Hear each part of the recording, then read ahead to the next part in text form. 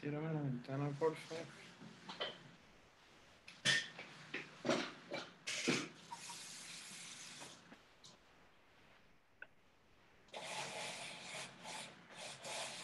Bueno, ahora sí estoy aquí seteado. ¿Me escuchan bien? Sí, ya bien. Muy bien. Pierre, apago la cámara, perfecto. Yo creo que yo creo que debemos arrancar, ya son las seis. Eh, Válido, válido. Listo, empezar. Ok, doctor Valle.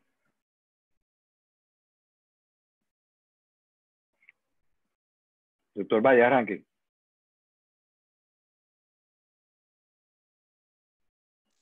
Se trabó el doctor Valle. Ahí está. No, Es que hay dos Zoom simultáneos. Yo me tengo que cambiar de uno a otro. Parece que es eso. Está en- ¿Me tienes en el aire allí, Hernán?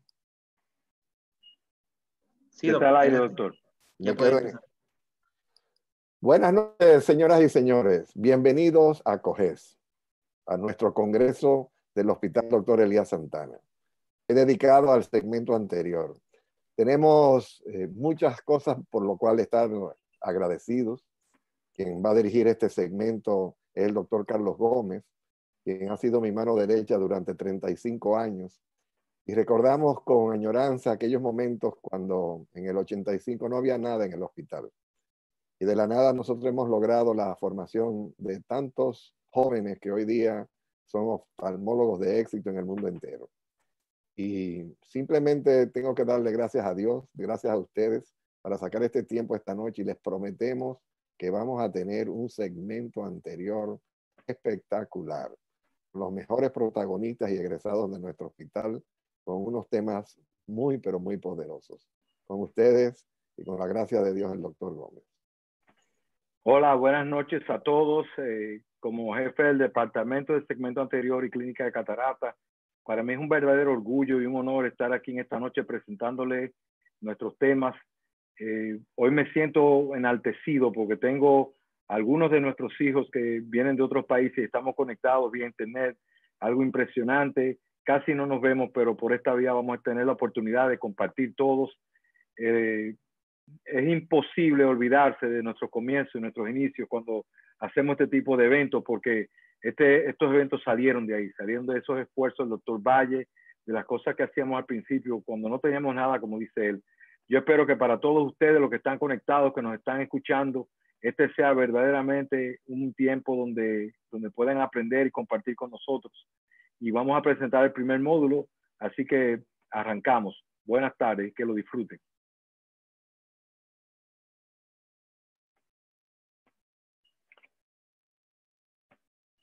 Buenas tardes, soy el doctor Carlos Gómez, jefe del departamento del segmento anterior y clínica de catarata del Hospital Elías Santana. Y en esta tarde es para mí un verdadero honor y un placer presentar a los expositores que van a intervenir en este día de segmento anterior de nuestro congreso. Para el día de hoy tenemos una playa de personas que son todos egresados de nuestro hospital de diferentes países y eso para nosotros es un gran orgullo. Tenemos gente de Colombia, de, de, de Perú, tenemos gente de Haití, tenemos gente de, de, México y esto para nosotros es un gran adelanto a lo que es nuestra gestión, no solamente a nosotros, pero a otros países. Con ustedes van a hablar hoy en este primer módulo la doctora Griselda Peña, que les va a hablar del módulo de enseñanza en clínica de catarata, el doctor Saúl Almonte, va a hablar de FACO para principiantes, la doctora Díaz Grullón, cuándo M6 y cuándo FACO, el doctor Jorge Jaramillo, estrategias MRE en FACO. Y entre cada módulo va a haber un caso clínico y en este módulo va a ser presentado por el doctor Francisco Mena. Entre un módulo y otro vamos a tener cinco minutos de preguntas para que podamos interactuar con los expositores. Buenas noches, gracias doctor Gómez por su presentación.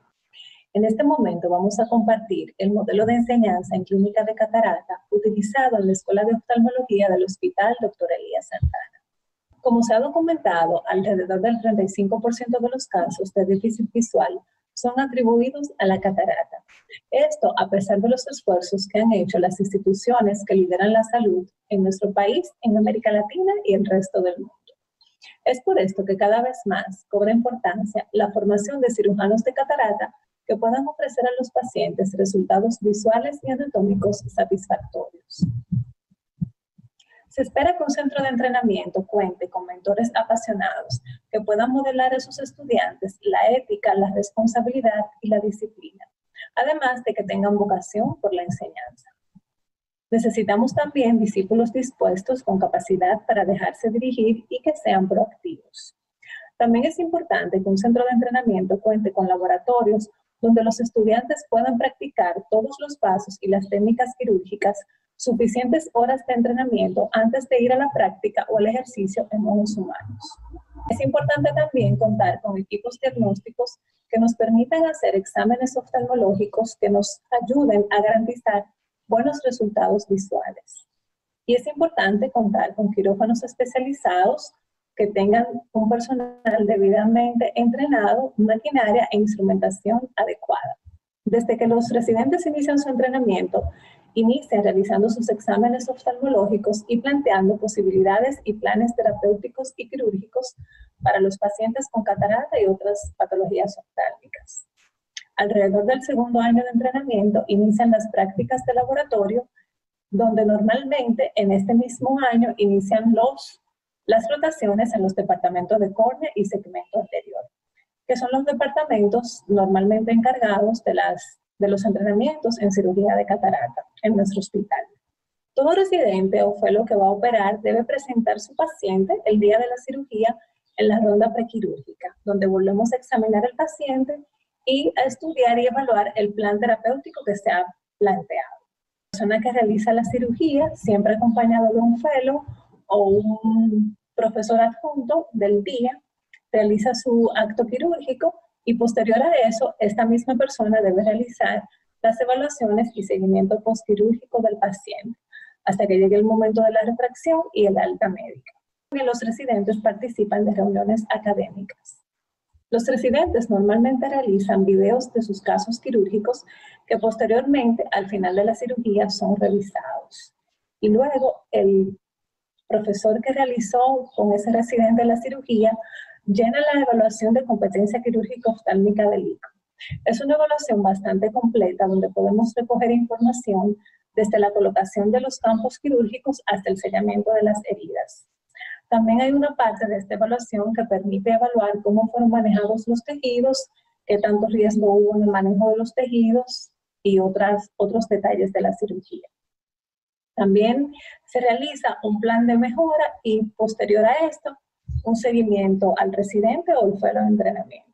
En el análisis de la curva de aprendizaje de cirugía de catarata realizado en este mismo año por el doctor Julio Navarrete, se encontró que el 15% de los casos de las fotomulsificaciones que eran para entrenamiento se complicaban en el primer mes de la cirugía y que el pico de estas complicaciones aparecía en el cuarto mes de entrenamiento quirúrgico. También este estudio evidenció que el 67% de los casos de pacientes que iban a cirugía de extracción extracapsular de cristalino por pequeña incisión, que es la que normalmente realizamos en nuestro centro, se complicaban en el primer mes de la cirugía. Pero ya al séptimo mes, este porcentaje de complicaciones había bajado bastante, perdón, al sexto mes. El 93% de los pacientes, eh, tanto en la técnica de facomulsificación como en la extracción extracapsular, alcanzó una agudeza visual de 20-30 o mejor. Voy a compartirles un video de cómo ha sido la evaluación, la evolución de la curva de aprendizaje de uno de nuestros residentes. Al inicio de nuestro entrenamiento, la colocación de la anestesia retrovulvar puede volverse todo un reto, dificultando la estabilización del globo ocular durante la cirugía. Al realizar las incisiones corneales puede haber mucha presión en el lado contralateral y provocar, como en este caso, el toque de la cápsula anterior. Hay incisiones que a veces pueden quedar muy amplias, como en este caso. Todo esto va a dificultar la fluídica durante la cirugía y va a permitir el prolapso del iris en todo el acto quirúrgico. Algunas veces pueden quedar muy estrechas las incisiones también y poco valvuladas, y esto va a provocar el prolapso del iris en toda la cirugía la dificultad de realizar todos los pasos, incluyendo la colocación del lente intraocular. Al colocar el viscoelástico, aquí vemos que hay un toque, veremos que hay un toque de la cápsula anterior y la cánula no fue introducida de forma adecuada. La capsulorexis es uno de los pasos más difíciles de realizar. Aquí hay mucha presión del labio inferior de la herida principal, lo que dificulta el mantenimiento de la cápsula anterior y puede provocar también extensiones de la rexis. Y como en este caso, que aunque quedó continua, no fue circunlineal, pero si queda continua, al inicio del entrenamiento se puede considerar un éxito al inicio del entrenamiento.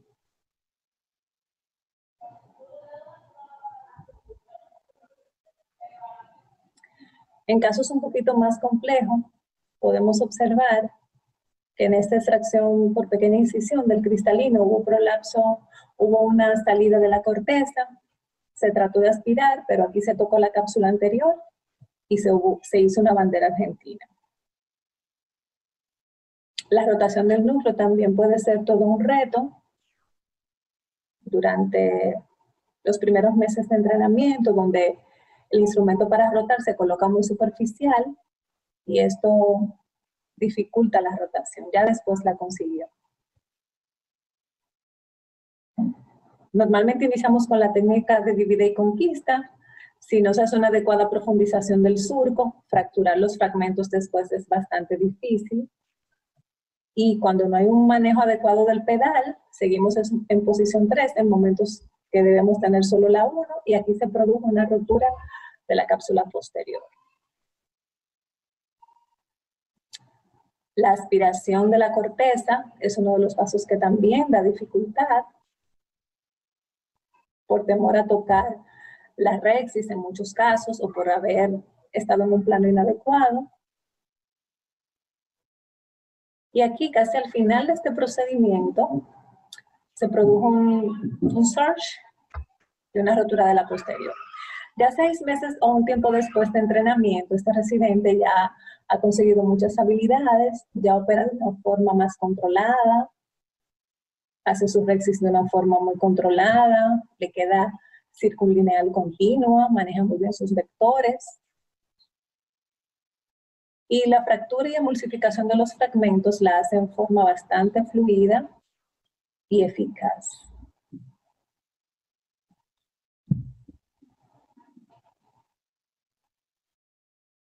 Toda la facomulsificación, a pesar de tener una pupila con una midriasis media, se realiza con mucha fluidez. Posteriormente, en el último fragmentito y luego la emulsificación del epinúcleo. Es el mismo residente que realizó los pasos anteriores. Aquí, de manera muy eficaz, la aspiración de la corteza ya no se hace tan difícil.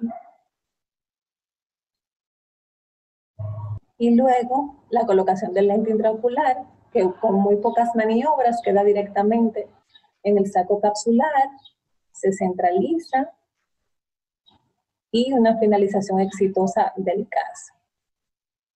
Para entrar al fellowship requerimos que el aspirante haya completado el programa de entrenamiento de residencia en oftalmología y que vía cartas someta su solicitud.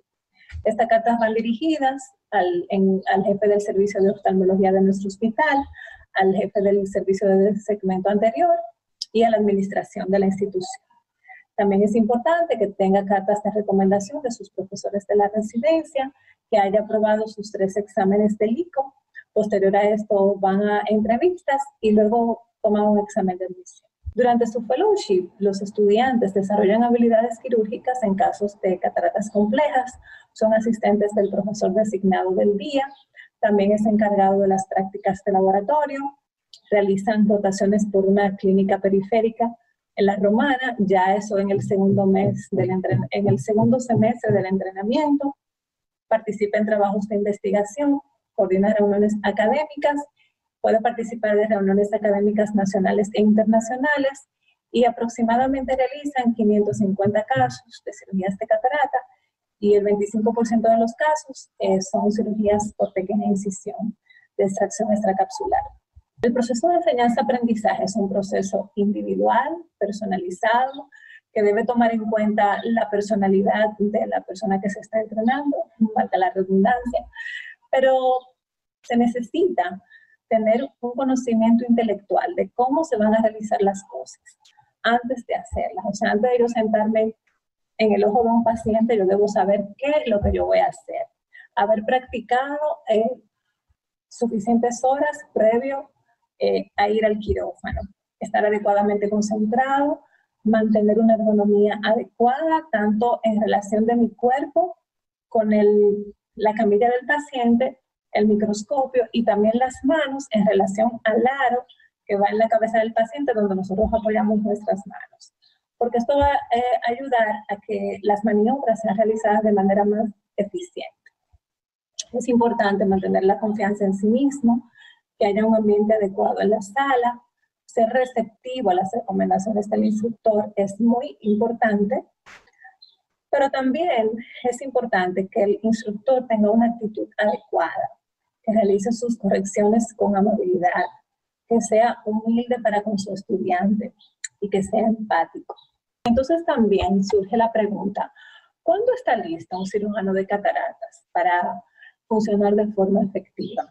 Bueno, se espera que cuando tenga reproductibilidad en sus procedimientos, el tema de la cantidad versus calidad siempre es eh, discutido, porque no necesariamente cantidad es sinónimo de calidad, pero mientras más opero, puedo ofrecer mejor calidad en mis resultados quirúrgicos. Que el cirujano haga una adecuada evaluación prequirúrgica y que pueda recordar que la cirugía no empieza en el salón quirúrgico, sino que empieza en el consultorio.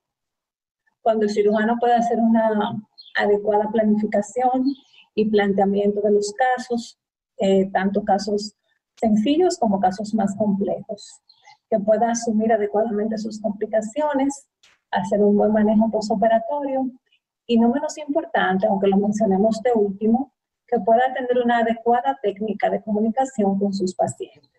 Este es nuestro departamento de segmento anterior, coordinado por el doctor Carlos Gómez y sus colaboradores, nuestros fellows. Y recordar que la enseñanza es el camino real para el aprendizaje. Definitivamente que enseñando se aprende. Muchas gracias. Hola a todos, muchas gracias por la oportunidad de participar en este congreso y gracias por las atenciones de los hoy aquí presentes. Vamos a hablar de facomulsificación para principiantes. Quiero iniciar con esta frase. La buena preparación evita un pobre desempeño.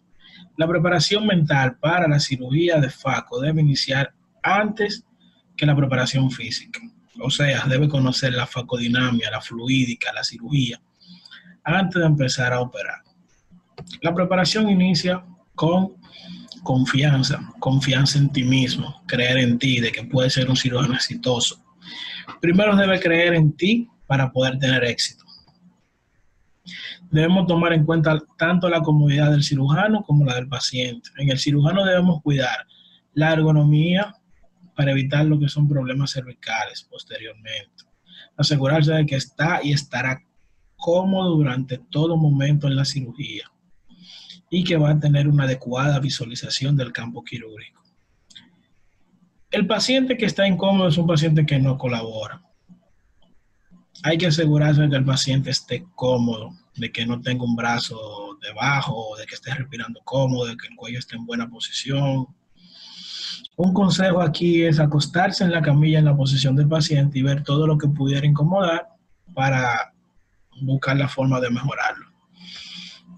Antes de iniciar tu cirugía, debes conocer tus equipos, el tipo de bomba con la que vas a trabajar, revisar los parámetros, el microscopio, el pedal y que todo esté funcionando adecuadamente.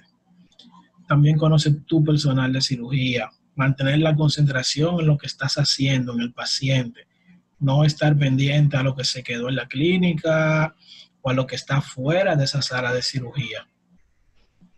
Mantenerte siempre relajado, no estar tenso a veces es muy difícil que cuando estamos iniciando, siempre estamos tensos, pero debemos tener Si hay que hacer cualquier ejercicio de relajación, hacerlo. Conocer tus límites, muy importante. Siempre conocer tus límites, no lastimes tu ego. Trabajar siempre para hacer bien al paciente. En el momento donde no sabes qué hacer, ese es el preciso momento de cederle el caso al cirujano más experimentado. Recuerda, ni muy rápido ni muy lento.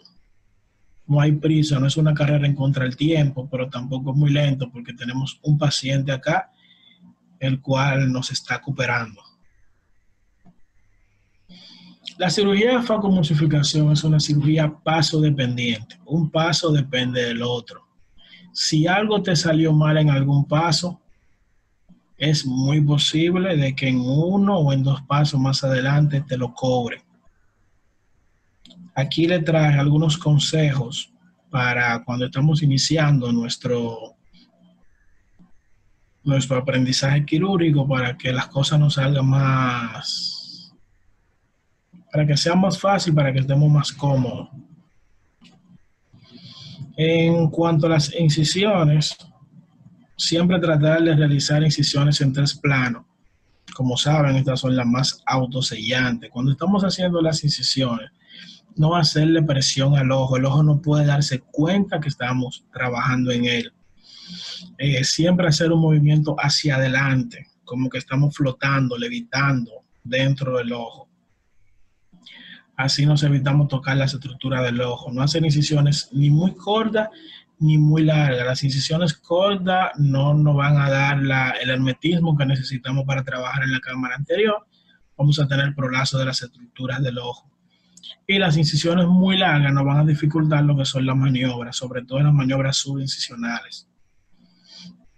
El manejo de sustancia. Aquí recomiendo siempre usar tinción, siempre teñir con el azul de tripán. Aparte de que le va a dar una mejor visualización, también le va a dar cierta consistencia a lo que es la cápsula anterior y nos va a permitir realizar la maniobra con, con mayor facilidad. La anestesia siempre colocarla de manera tangencial, así nos aseguramos de que todo el estroma del iris se impregna con esta. Y en cuanto al viscoelástico, siempre conocer cuál es el viscoelástico indicado en cada momento de la cirugía. Importantísimo. La casulorresi. en la casulorresi eh, recomiendo hacer el primer corte de la, de la cápsula hacia arriba, hacia ti, hacia el cirujano, hacia la incisión. Eso nos va a evitar el manejo de la parte subincisional, porque cuando ya llegamos a cerrar la resi, ya prácticamente está hecho cuando realizamos el corte hacia la incisión. Siempre sostener la resi o guiarla por la pestaña suelta. Ese pliegue que se forma acá en la, en la resi es el pliegue de apoyo de la resi, nunca tocarlo. Si se fijan en el video, la utrata solo avanza, solo abre para tomar la cápsula. La utrata avanza cerrada para eh, cuando voy a coger la cápsula. En las hidromaniobras, en la hidrodisección principalmente, aquí recomiendo, eh, tracemos una línea imaginaria entre hora 3 y 9, como que ese es nuestro límite de la cánula. Siempre tratar de hacer la hidrodisección en horas superiores, de esa línea imaginaria hacia arriba. ¿A qué nos ayuda esto? Con esto evitamos que el codo de la cánula hagamos presión en el núcleo y nos da una hidrodisección más fácil, porque la cánula no está empujando el núcleo hacia abajo. En cuanto a la hidrodelaminación, siempre recordar a los casos que está indicada, como en las polares posteriores, y siempre que la puedan hacer, hagan la hidrodelaminación esto le va a proporcionar un colchón de pinúcleo para que ayuda mucho a proteger lo que es la, la cápsula posterior y también nos da una mayor visualización, una mejor visualización del núcleo a la hora de la fractura. La rotación, la rotación son movimientos firmes, cortos y periféricos. En la fractura, aquí tenemos una gran variedad de técnicas para realizar la fractura. La mejor técnica es la que mejor usted domine. Al inicio de la, del aprendizaje de la cirugía, yo recomiendo el stop and shop para mí siento que es una de las técnicas que más fluyen para el residente, pero usted va a ir dominando la técnica que, con la que se sienta más cómodo. Lo que debe tener en cuenta a la hora de la fractura es siempre iniciar la fractura en el centro del núcleo. Inicia ya sea el stop and shop o el chop justo delante de la, del borde de la resis y en el centro del núcleo y asegurarse de que el núcleo se fracturó en toda su extensión, de que las fibras posteriores rompieron. La emulsificación, eh, realizarla siempre en la zona de seguridad, en el plano del iris, ni cerca de la cápsula posterior, ni cerca de la córnea.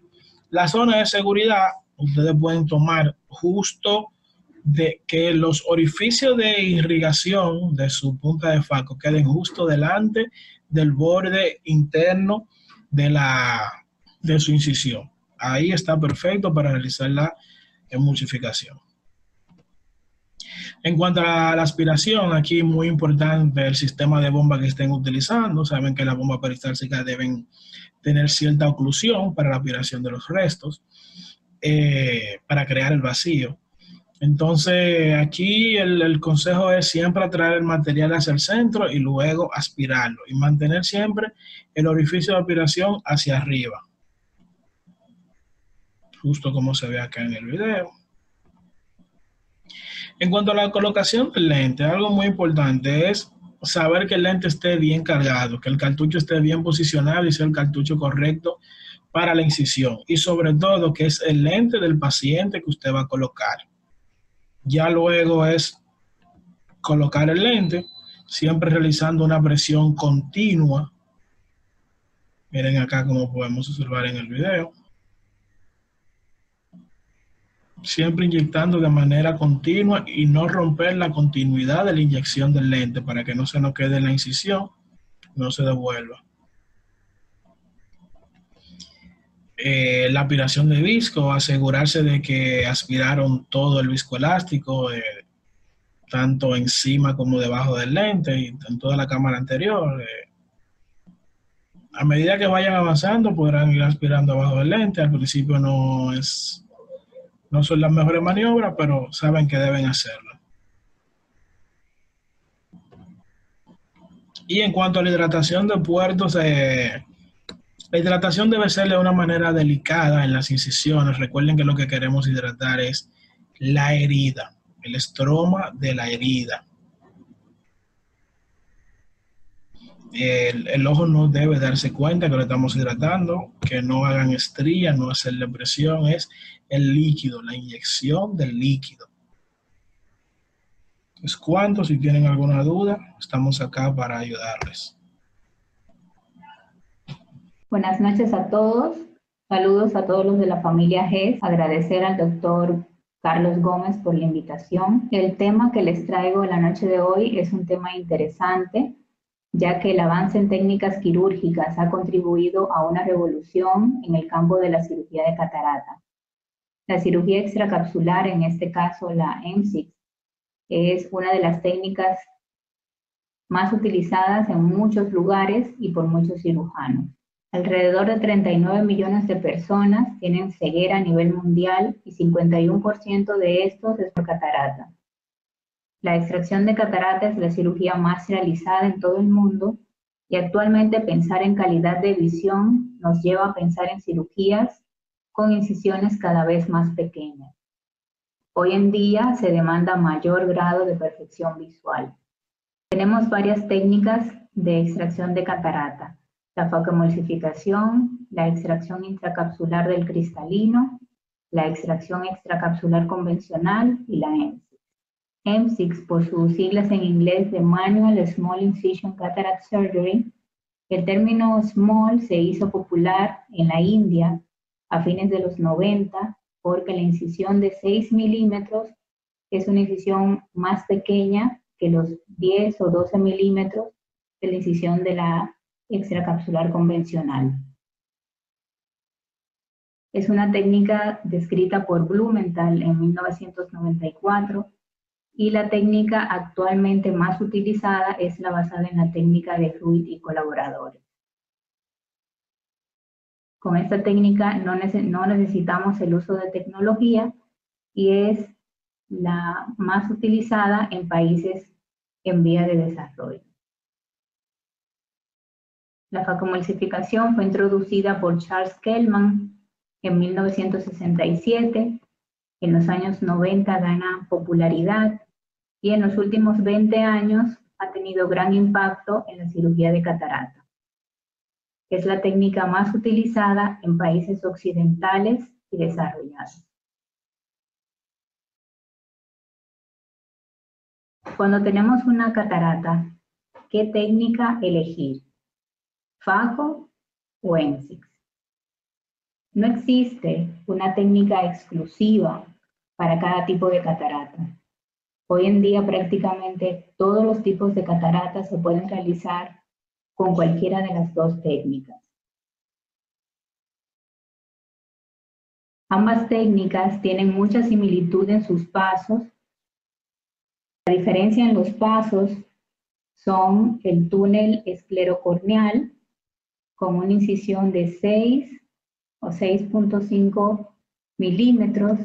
Se realiza un túnel en forma trapezoidal con base interna de aproximadamente 9 milímetros a 1.5 milímetros de, limbio, de limbo en córnea clara. La luxación del cristalino a cámara anterior y la extracción del cristalino con un asa de Snellen o Bates. Y en la facomulsificación vamos a realizar una incisión en córnea clara tunelizada y la extracción del cristalino la vamos a realizar con la, con la en sí. Un criterio que nos ayudará para elegir una técnica es la habilidad y experiencia que tenemos con la técnica que vamos a realizar. ¿Cuándo optar por una FACO. La facomulsificación es la técnica gold standard para la cirugía de catarata y todas las cataratas se pueden realizar por facomulsificación, teniendo en cuenta un buen manejo de la técnica, habilidad y experiencia del cirujano, y contar con todas las herramientas y dispositivos necesarios para, para realizarla. La ventaja que tenemos con la facomulsificación es que utilizamos anestesia tópica, incisiones muy pequeñas, el astigmatismo inducido es mínimo o ninguno y es una cirugía menos invasiva. La recuperación visual y la estabilidad refractiva son más rápidas. Algunas limitaciones se requiere de cierta habilidad quirúrgica, es una técnica dependiente de equipo, de tecnología, con alto costo y la curva de aprendizaje no es sencilla. ¿Cuándo optar por una EMSIX? En casos de cataratas duras y complejas. En cataratas brunescentes y nigrans para evitar el uso excesivo de ultrasonido, disminuir el estrés en el complejo sonular y el daño endotelial. En cataratas hipermaduras y morganianas, por la fibrosis de la cápsula anterior y la debilidad sonular que pueden presentar, y también para disminuir el riesgo de rotura de cápsula posterior que se puede presentar por la falta de corteza y epinúcleo que le proporcionan protección al núcleo. En cataratas duras, con exfoliación, ya que en estos casos la pupila puede dilatar poco y presentar debilidad sonular.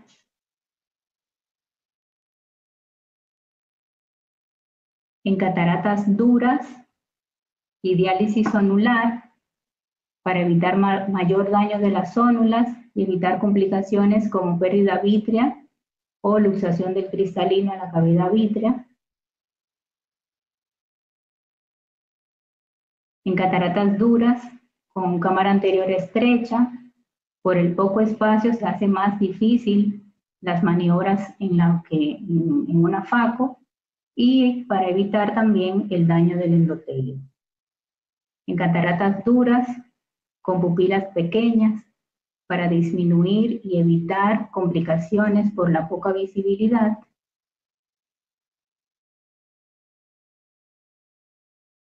Y en cataratas duras, con bajo conteo endotelial, para evitar mayor daño o descompensación de la córnea.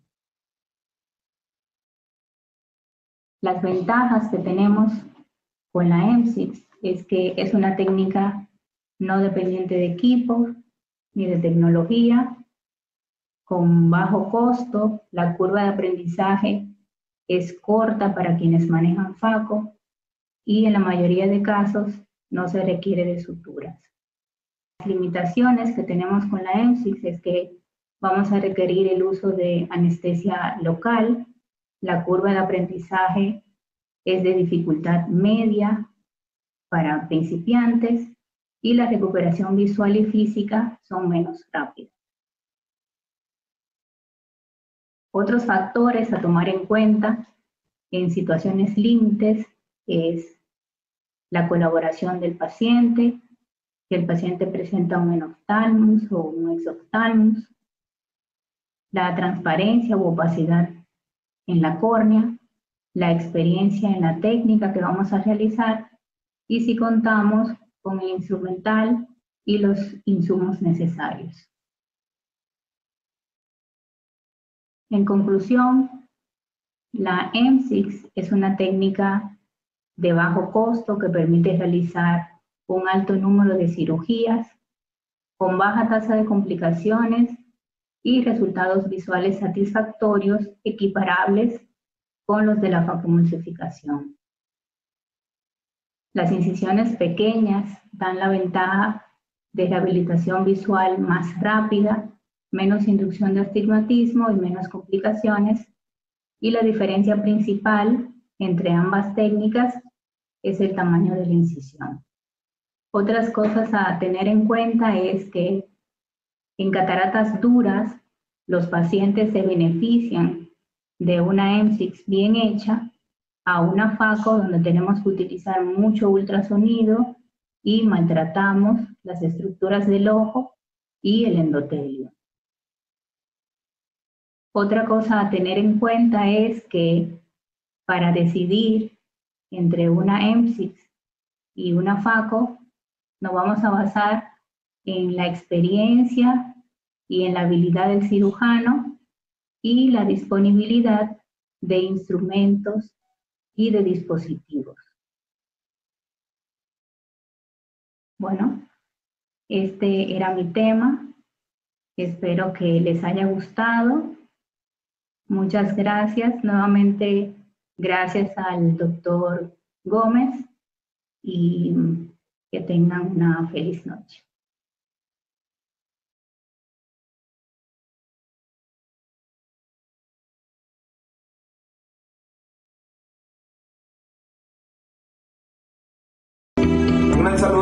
¿Cómo están? Les saluda el doctor Jorge Alejandro Jaramillo desde aquí de Medellín, Colombia. Soy egresado del Hospital Elías Santana en el año 2006. Actualmente soy cirujano de catarata, presbicia y cirugía refractiva. Y como muchos saben, soy nacido en Venezuela, con genes colombianos, pero corazón dominicano. Les mando un caluroso abrazo y con lleno de mucho cariño a todos mis profesores y mis compañeros de residencia y muchísimas gracias al doctor Valle al doctor Carlos Gómez por invitarme a participar en este Congreso del Hospital Elías Santana.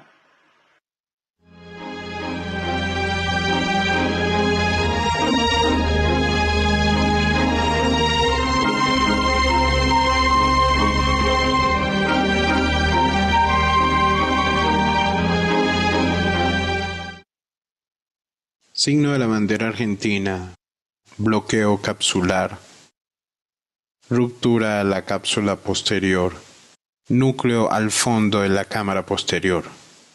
Son algunos de los signos de complicaciones que pueden tener este tipo de pacientes con catarata blanca. No todas las cataratas blancas son iguales. Hay cataratas blancas normotensas, donde no hay líquido liquefacto, cataratas intumescentes, donde toda la corteza está liquefacta, y cataratas morganianas.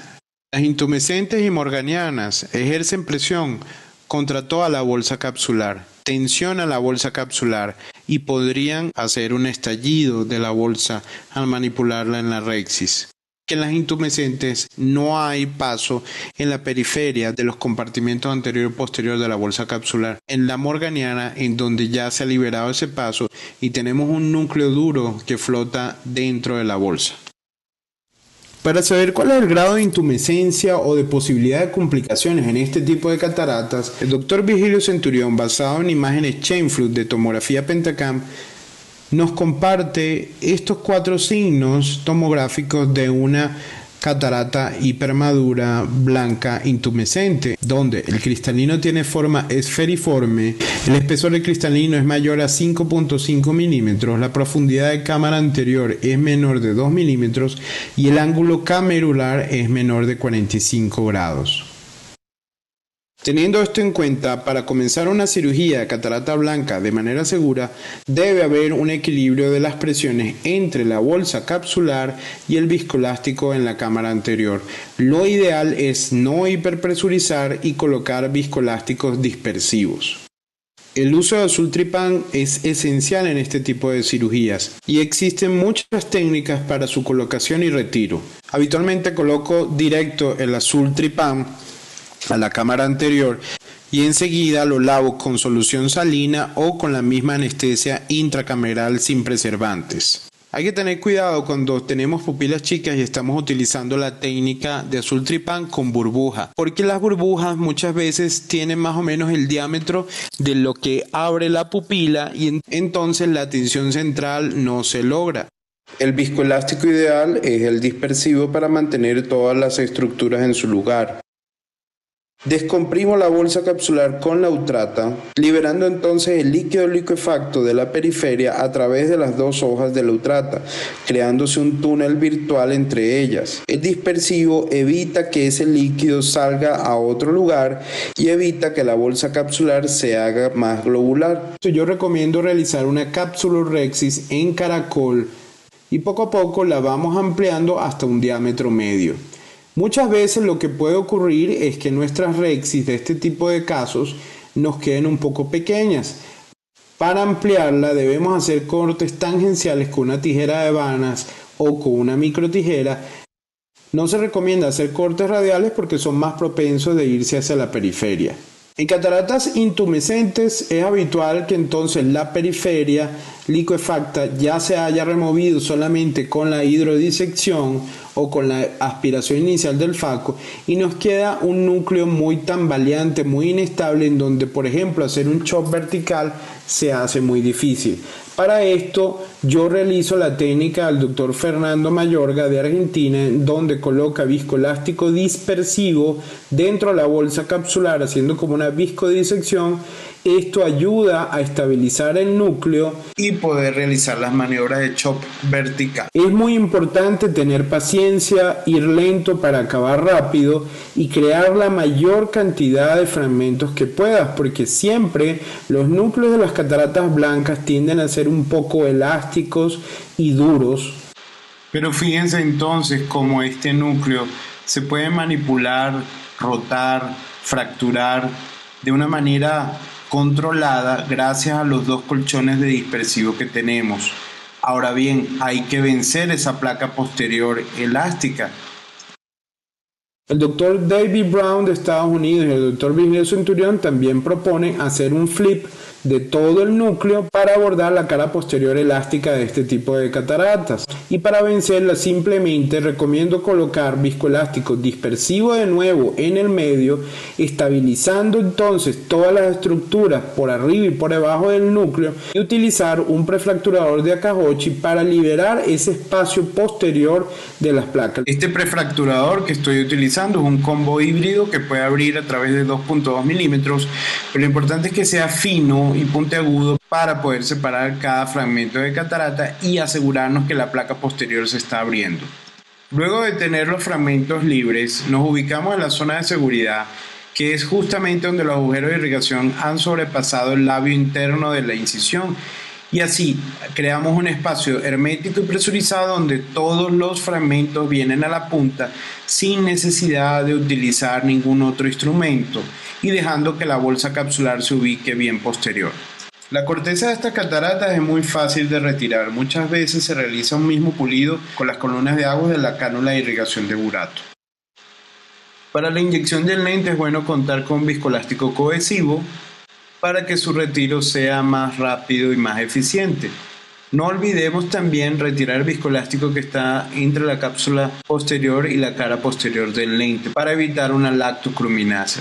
Siempre me gusta lavar la cámara anterior con trencinolona, no solamente para verificar el paso a través de las zónulas al espacio de Berg, sino también para evitar la iritis y la endotelitis postfacto. En la fase de facomulsificación de fragmentos, si no vemos la punta del faco, no debemos avanzar. El no ver la punta del faco puede ocasionarnos una ruptura de cápsula posterior inadvertida. Si no veo la punta, me detengo. Fíjense la trepanación que he realizado en este fragmento. Prefiero moverlo y buscar otro de los flancos del fragmento para hacerle la facomulsificación.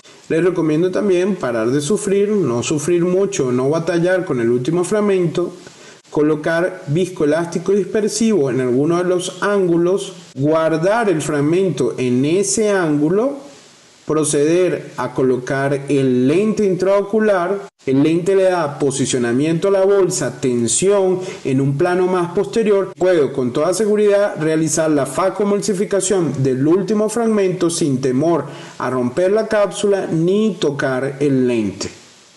Esta técnica Stop and Lens, parar y poner el lente, es bastante útil para minimizar las rupturas a la cápsula posterior en el último fragmento, en estas cápsulas que fluctúan tanto por un vitrio liquefacto o porque las zónulas están muy débiles.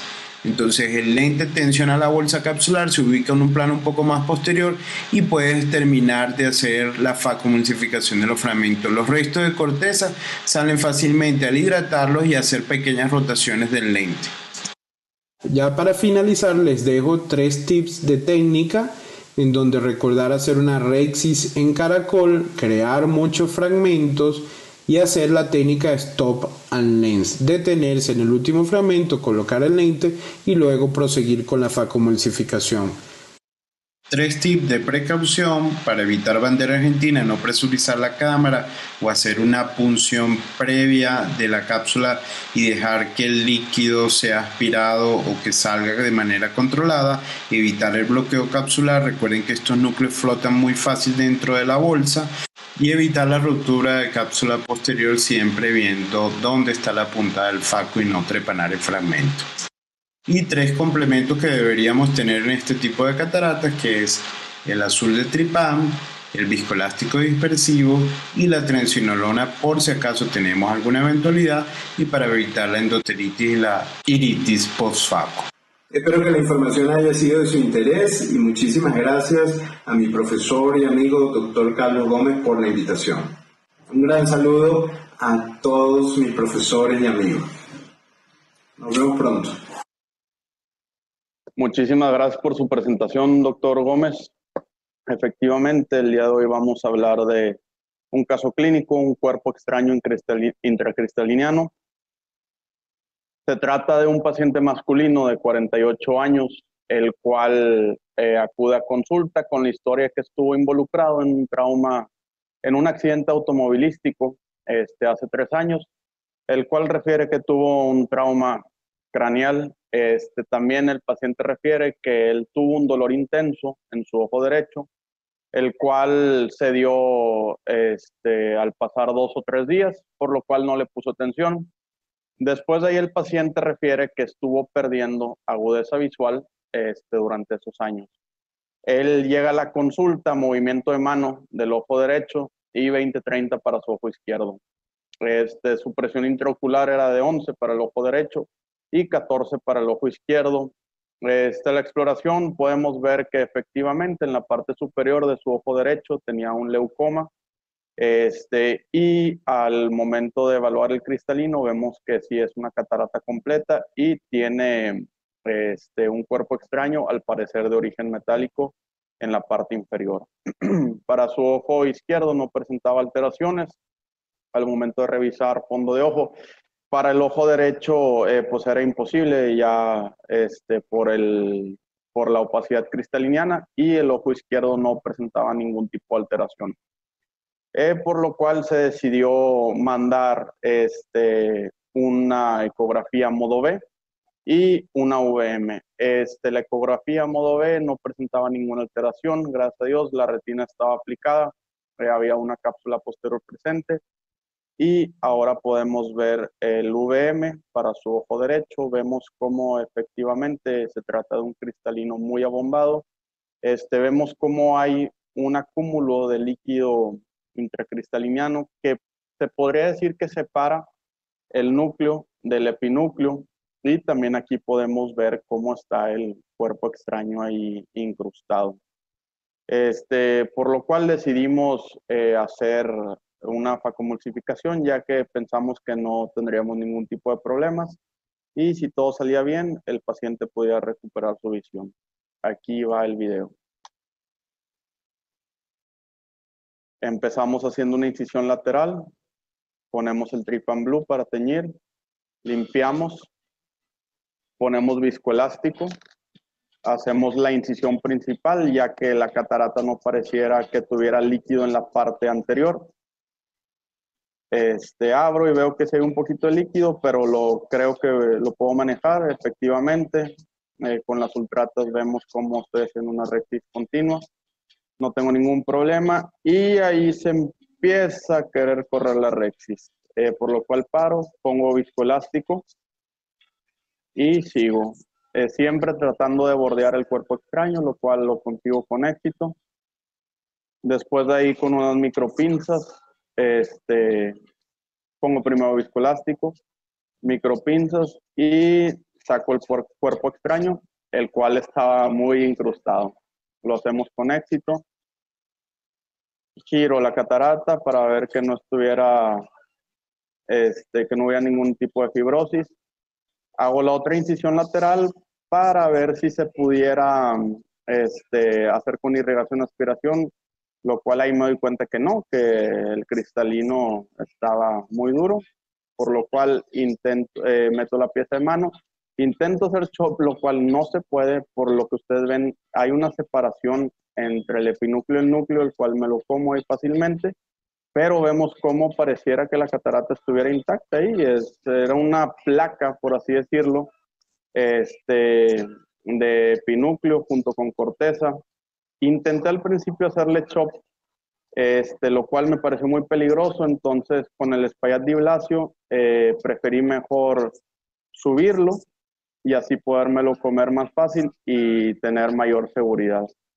Vemos como efectivamente eh, es muy chicloso, pero con la facomulsificación es posible comer esa placa.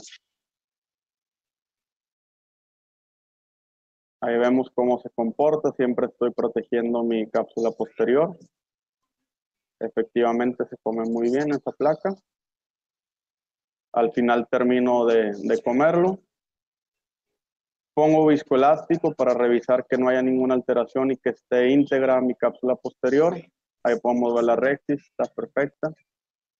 Y entonces procedo a poner un lente intraocular en bolsa de una pieza. Lo pongo, no hay ningún problema. Eh, aspiro el visco, pongo homeostat, veo que la pupila cerra perfectamente y ahí terminó el caso. Este, el paciente al otro día mostraba una agudeza visual sorprendentemente de 20-20 para su ojo derecho y 20-30 para su ojo izquierdo. El paciente actualmente está muy feliz y muy agradecido. Y eso sería todo eh, por mi parte el día de hoy. Muchísimas gracias por su atención. Muy bien, muchas gracias a todos los participantes. Yo creo que hemos tenido hasta ahora temas muy buenos, temas muy, muy concretos. Los videos, no sé lo que piensan los demás, pero yo estoy viendo los videos, están quedando bastante bien en la red. Este, yo tengo dos comentarios. Eh, el primer comentario es, eh, yo no sé si ustedes recuerdan ese eh, refrán que dice que el que pica adelante come dos veces, o el que pega primero eh, sale ganando.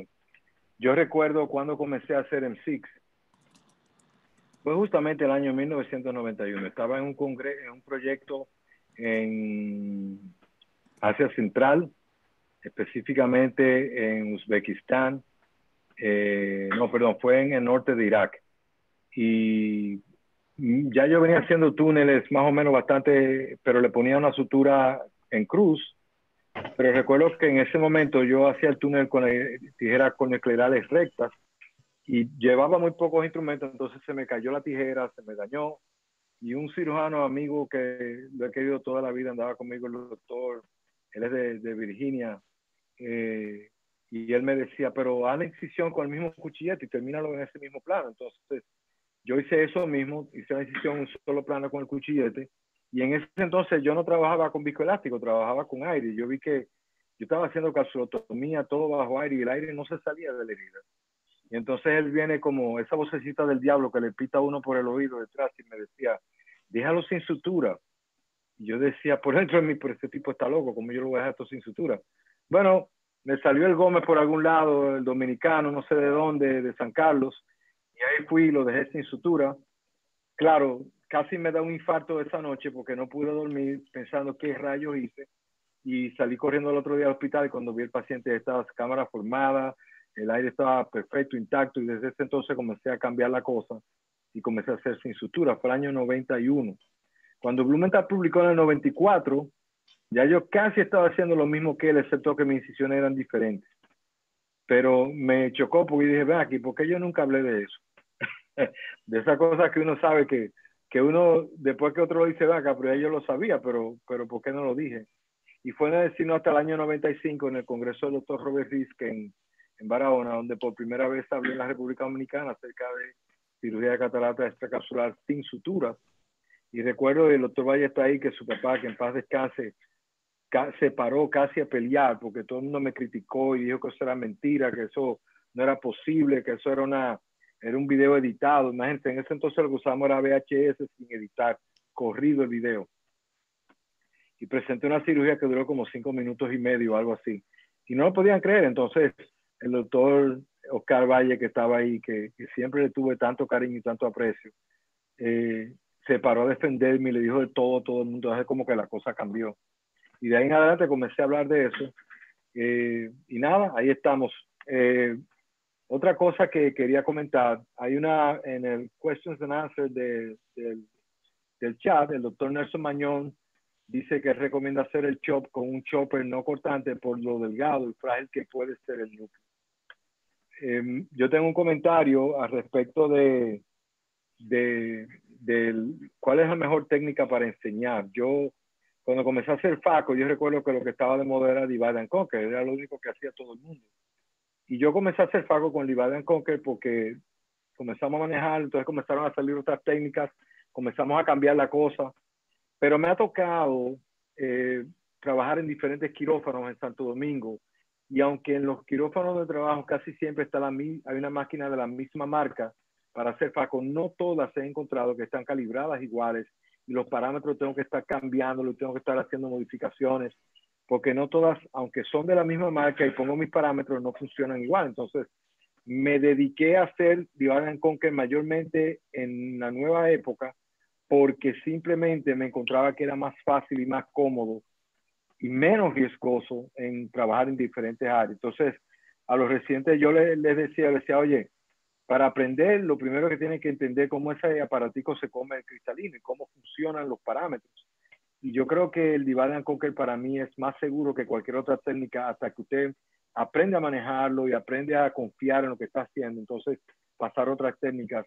El stop and chop a mí me encanta, yo lo hago con muchísima frecuencia, pero de verdad que hay momentos donde comienzo un stop and chop y entonces la máquina no me está haciendo succión o algo está pasando y cambio inmediatamente un Divide and Conquer para estar seguro de no crear complicaciones.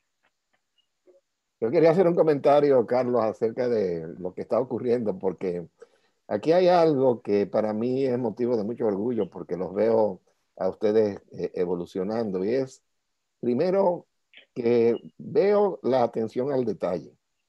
Yo decía que en el libro de, de Buxton, que publicó, que fue el primer libro de microcirugía, en la página titular decía, la atención al detalle es la clave del éxito. Y la cirugía de catarata tiene esa propiedad. Cuando veo los videos, Jorgito, que tú editas con tantos detalles, también uno se da cuenta de que no hay dos cataratas iguales. No hay dos cataratas iguales. La gente quiere hacer una técnica, una uniformidad de criterio. Sí, hay cosas, patrones que seguimos, pero la verdad es que el cuerpo humano es cada uno tiene singularidades, pupilas pequeñas, pupilas grandes, núcleos duros, núcleos blancos, núcleos negros, sin cápsula, con cápsula, con diálisis, sin diálisis. Y el estudio de la cirugía de catarata y la atención al detalle es lo que te permite realmente perfeccionarte como cirujano. Y la otra ventaja de lo que estamos haciendo es que cuando usted ve sus propios videos, y tú revisas, porque uno tiene buena memoria, pero no hay nada como un video para decirte, mira, no fue ahí donde metiste la pata, metiste la pata tres pasos antes, ¿no? Eso te ayuda realmente a evolucionar y a crecer y a hacerte mejor cirujano. Y aquellos que no son autocríticos terminan siendo entonces cometiendo los mismos errores. Entonces, parte importante de esta formación de ustedes es aprender a ser autocrítico, aprender a evolucionar. Y si tú le preguntas a Carlos Gómez si él opera la catarata hoy día, como lo hacía hace 35 años, mentira, cada dos años él cambia. Y yo también, y todos ustedes van a cambiar, porque evoluciona la tecnología, evoluciona todo. Y parte de importante del desarrollo del cirujano de segmento anterior es saber escoger esa tecnología que es apropiada, que es la que realmente conviene, y también saber escoger cuál es la tecnología apropiada para ese ojo que ustedes van a operar. Si yo, si yo me pongo a hacer la historia de los cambios que he hecho en el M6, no acabaríamos hoy. Yo he hecho tantos cambios y sigo cambiando y sigo buscando, porque siempre digo, y se lo he enseñado yo creo que a todos, yo creo que aquí no hay uno en el panel que no haya escuchado eso de mí. Siempre les digo que tenemos que mantenernos aprendiendo. El aprender es lo que garantiza que nosotros vamos a mejorar lo que hacemos. Cuando yo pare de aprender, voy a perder la pasión por lo que hago. Y si pierdo la pasión, me convierto en una máquina, ya no sirve de nada y no hay, no hay sentido de, de amar lo que uno hace. Y eso para mí ha sido siempre lo que me ha impulsado a ir cambiando, cambiando y ver. La autocricidad que el doctor Valle habla es, por eso que yo empujo tanto, están grabando, están grabando, tienen un CD, présteme un CD, están grabando, porque es importante tener eso. Yo el otro día estaba buscando algo en mi closet y encontré una caja llena de CDs de grabaciones que yo he hecho y estoy comenzando a revisar algunas y he encontrado unos casos espectaculares ahí que yo siempre digo, ustedes nunca saben dónde van a encontrar un caso que va a ser espectacular para congresos, donde vamos a tener cosas buenas que enseñar, trucos, cómo nos salimos debajo del camión, qué hicimos con lo que tenemos a mano. Ahorita cuando la doctora Díaz Grullón hablaba de CIFACO M6, yo por dentro me decía, Dios mío, la verdad que es una locura en lo que nos hemos metido. Cada día estamos cambiando, tenemos nuevas máquinas, tenemos técnicas nuevas, estamos siempre, estamos siempre evolucionando nosotros mismos lo que estamos haciendo, viendo lo que hacen otros y nosotros mismos pensando lo que estamos haciendo. Y yo creo que eso es lo que nos hace buenos cirujanos. La diferencia entre un buen cirujano y un cirujano eh, promedio es que el cirujano bueno no le tiene miedo a las complicaciones el cirujano bueno está pendiente y si se complica, busca la manera de, resolverlo. Y si tú me dices, eh, doctor, ¿cuál es la mejor técnica de cirugía catarata? Tú, yo te voy a decir, dame lo que tengas a mano y yo te voy a decir cuál es la mejor técnica. Porque todo depende de, de lo que tengas a mano. Yo he tenido la gran oportunidad de tener los mejores microscopios, los mejores equipos, ya hago cosas que, que, muchas personas no sabían que se podían hacer, pero cuando no tengo nada, hay que operar la catarata de la misma manera, o sea, hay que sacarla de ahí. Abdías, tú ibas a decir algo. Sí, un comentario, doctor. Bueno, yo aprendí a hacer M6 con usted y la verdad que verlo hacer una M6 es prácticamente un privilegio, porque terminar una cirugía en cinco minutos y al día siguiente con resultados de 2025, 2020, eso es fabuloso.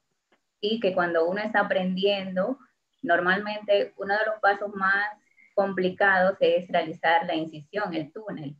Y al principio es, es importante que siempre hagamos las cosas con cuidado, pensando que, como había comentado Saúl, que si un paso nos sale mal, probablemente los otros también nos van a salir mal o se nos puede complicar la cirugía y que la M6 es en realidad una muy buena técnica y con muy buenos resultados visuales.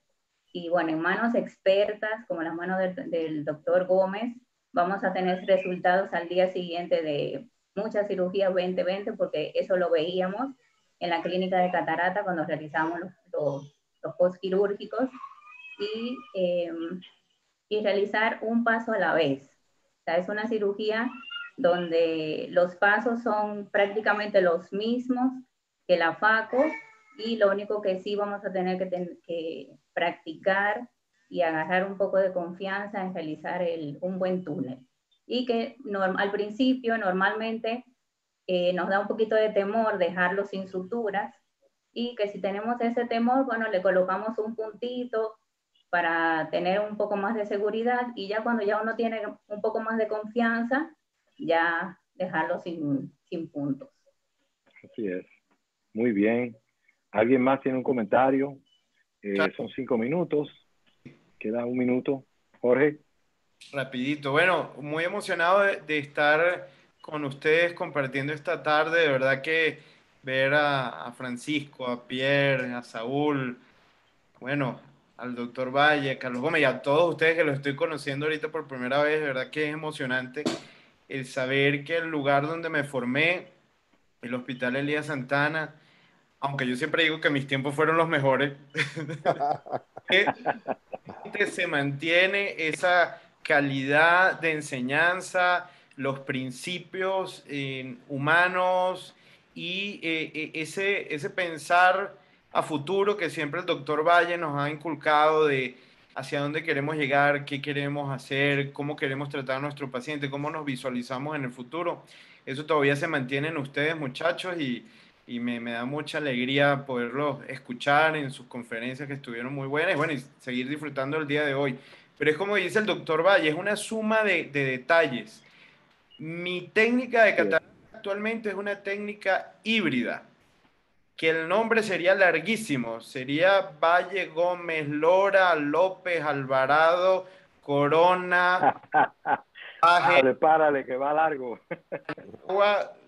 Imagínate, sería una, el nombre sería larguísimo, porque yo de cada profesor veía y veía y veía los detalles y iba entendiendo hasta dónde yo podía llegar en, en mi, en mi desarrollo de la técnica, qué probar, qué no probar, pero sobre todo desarrollar el entendimiento lógico, geométrico y físico de lo que estaba sucediendo en la cámara anterior y de lo que estaba sucediendo con el accionar de mis instrumentos. Señores, no sean patólogos, patólogos es cualquiera. El patólogo es el que va a hacer una catarata y lo que sabe es llevar el pedal al fondo, que lo que tiene es una pata pesada.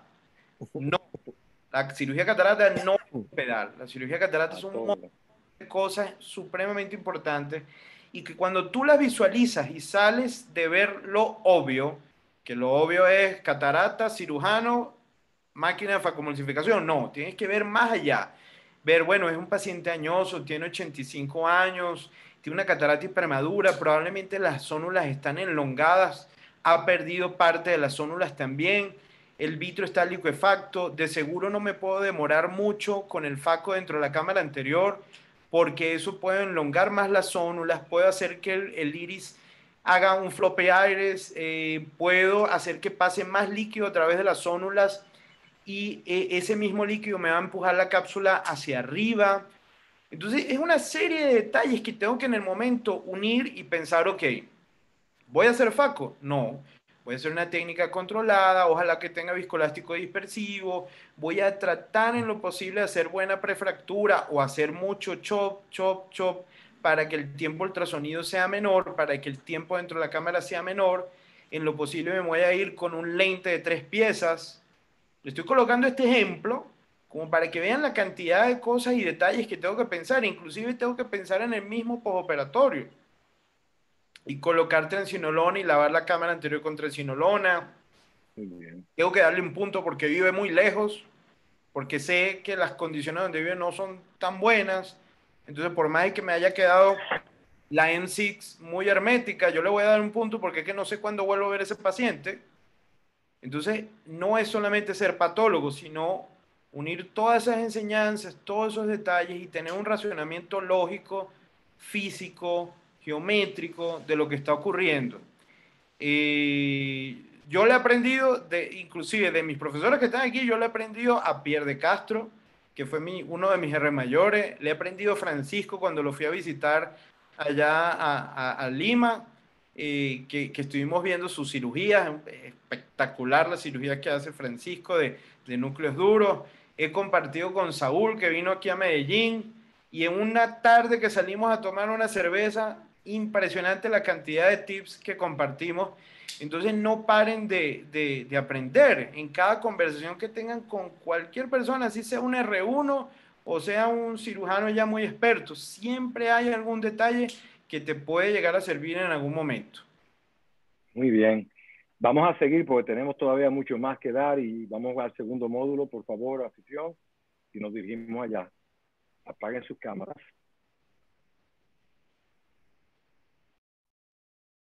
Y para nuestro segundo segmento tenemos los temas de ojo seco y cirugía de catarata con la doctora Cristina Rivera, cirugía de catarata en pacientes diabéticos, la doctora Ginette Disla, manejo de catarata subeítica con el doctor Carlos Moreta, que aprendí del Fento Faco por el doctor Francisco Cirineo, pre-chop de Akahoshi, el doctor Pierre de Castro, caso clínico por el doctor Emilio Núñez.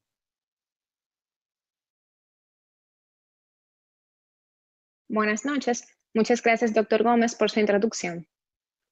De acuerdo a la segunda edición del Dry Eye Workshop realizada en el 2017, el ojo seco se va a definir como una enfermedad multifactorial de la superficie ocular que se caracteriza por la pérdida de la homeostasis de la película lagrimal y que se va a acompañar de síntomas oculares, en la que la inestabilidad e hiperosmolaridad, la inflamación y el daño a la superficie ocular, además de las anomalías neurosensoriales, juegan un papel etiológico. Entre los principales signos y síntomas de esta entidad tenemos la sensación de cuerpo extraño, la visión borrosa que usualmente va a mejorar con el parpadeo o con la instilación de gotas lubricantes, ardor ocular, fotofobia y ojo rojo. Si revisamos la literatura, vamos a encontrar vasta información sobre la exacerbación o aparición de nuevo del ojo seco luego de la cirugía de catarata. Este ojo seco postoperatorio va a influir negativamente en el resultado visual, además de que va a prolongar el tiempo de recuperación del paciente. Entre los mecanismos propuestos para la aparición del mismo tenemos la exposición transquirúrgica del globo ocular, la amputación de los nervios corneales, la inflamación postoperatoria, la pérdida de las células caliciformes, la disfunción de las glándulas de meimomio y el uso de drogas antiinflamatorias en el periodo postquirúrgico. Entonces, si ya sabemos esto, ¿por qué no nos enfocamos en el manejo del ojo seco prequirúrgico? El ojo seco es una de las entidades menos reconocidas cuando el paciente está siendo evaluado para someterse a cirugía de catarata. Se estima que 55 millones de personas padecen de ojo seco, sin embargo, solamente 16 millones reciben el diagnóstico y tratamiento. Como cirujanos oftalmólogos podemos realizar de manera exitosa una facomultiplicación para luego llevarnos la sorpresa que el paciente no está contento con los resultados. Usualmente cuando esto sucede, lo primero que hacemos es revisar las evaluaciones preoperatorias del paciente y el cálculo del lente intraocular para constatar de que colocamos el adecuado. Y al examinar al paciente y constatar entonces de que éste sufre de ojo seco, nos surgen las siguientes preguntas. ¿Serán las gotas antiinflamatorias que están provocando esto? ¿Estaba el ojo seco presente antes de la cirugía de catarata? ¿La visión borrosa es por el ojo seco o el cálculo del lente estuvo afectado? Aquí les muestro el Prospective Health Assessment of Cataract Patients Ocular Surface Study, FACO por sus siglas en inglés. Este fue un estudio prospectivo, multicéntrico y observacional publicado en el 2017 y liderado por el doctor William Tadler, que incluyó 272 ojos de 136 pacientes con una edad promedio de 70 años. Todos iban a ser sometidos a cirugía de catarata. Para su evaluación, utilizaron el International Task Force, realizaron la medición del tiempo de ruptura de la película lagrimal, test de Schirmer 2, tinción corneal con fluoresceína y tinción conjuntival con verde de lisamina. Encontraron que el 81% de los pacientes que iban a ser sometidos para cirugía de catarata padecían de ojo seco de moderado a severo y solamente un 22% de estos habían sido diagnosticados previo a la consulta actual.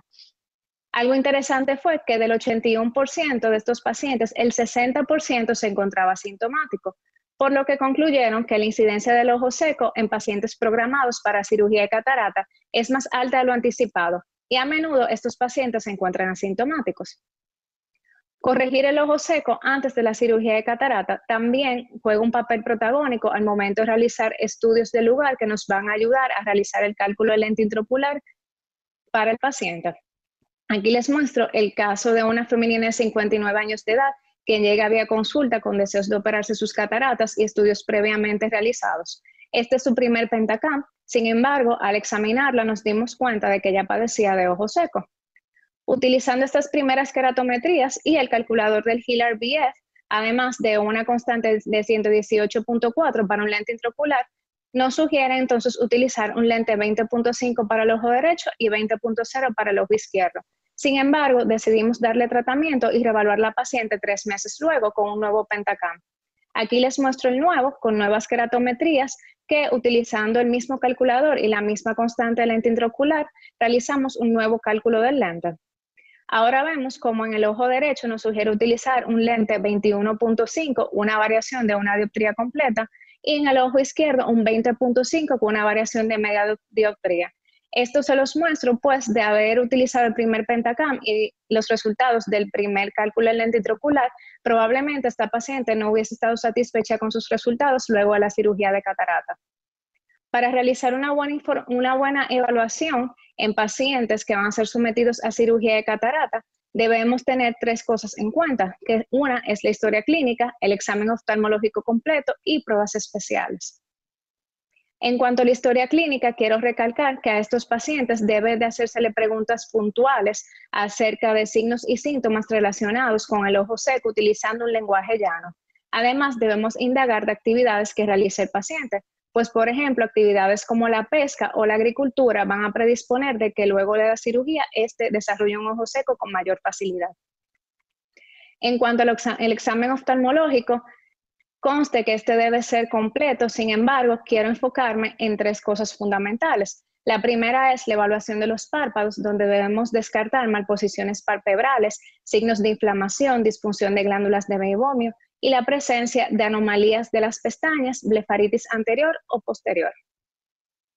En cuanto a la película lagrimal, debemos observar la calidad de la misma, si aparecen detritus sobre la superficie ocular o la misma se observa oleosa, pues esto nos orienta hacia dónde se está produciendo el problema principal que debe ser corregido antes de la cirugía de catarata. En la evaluación de la superficie ocular comenzaremos por la conjuntiva, descartando que existan signos de inflamación, además de anomalías como la presencia de pingüéculas, pterigium o conjuntivo calácea.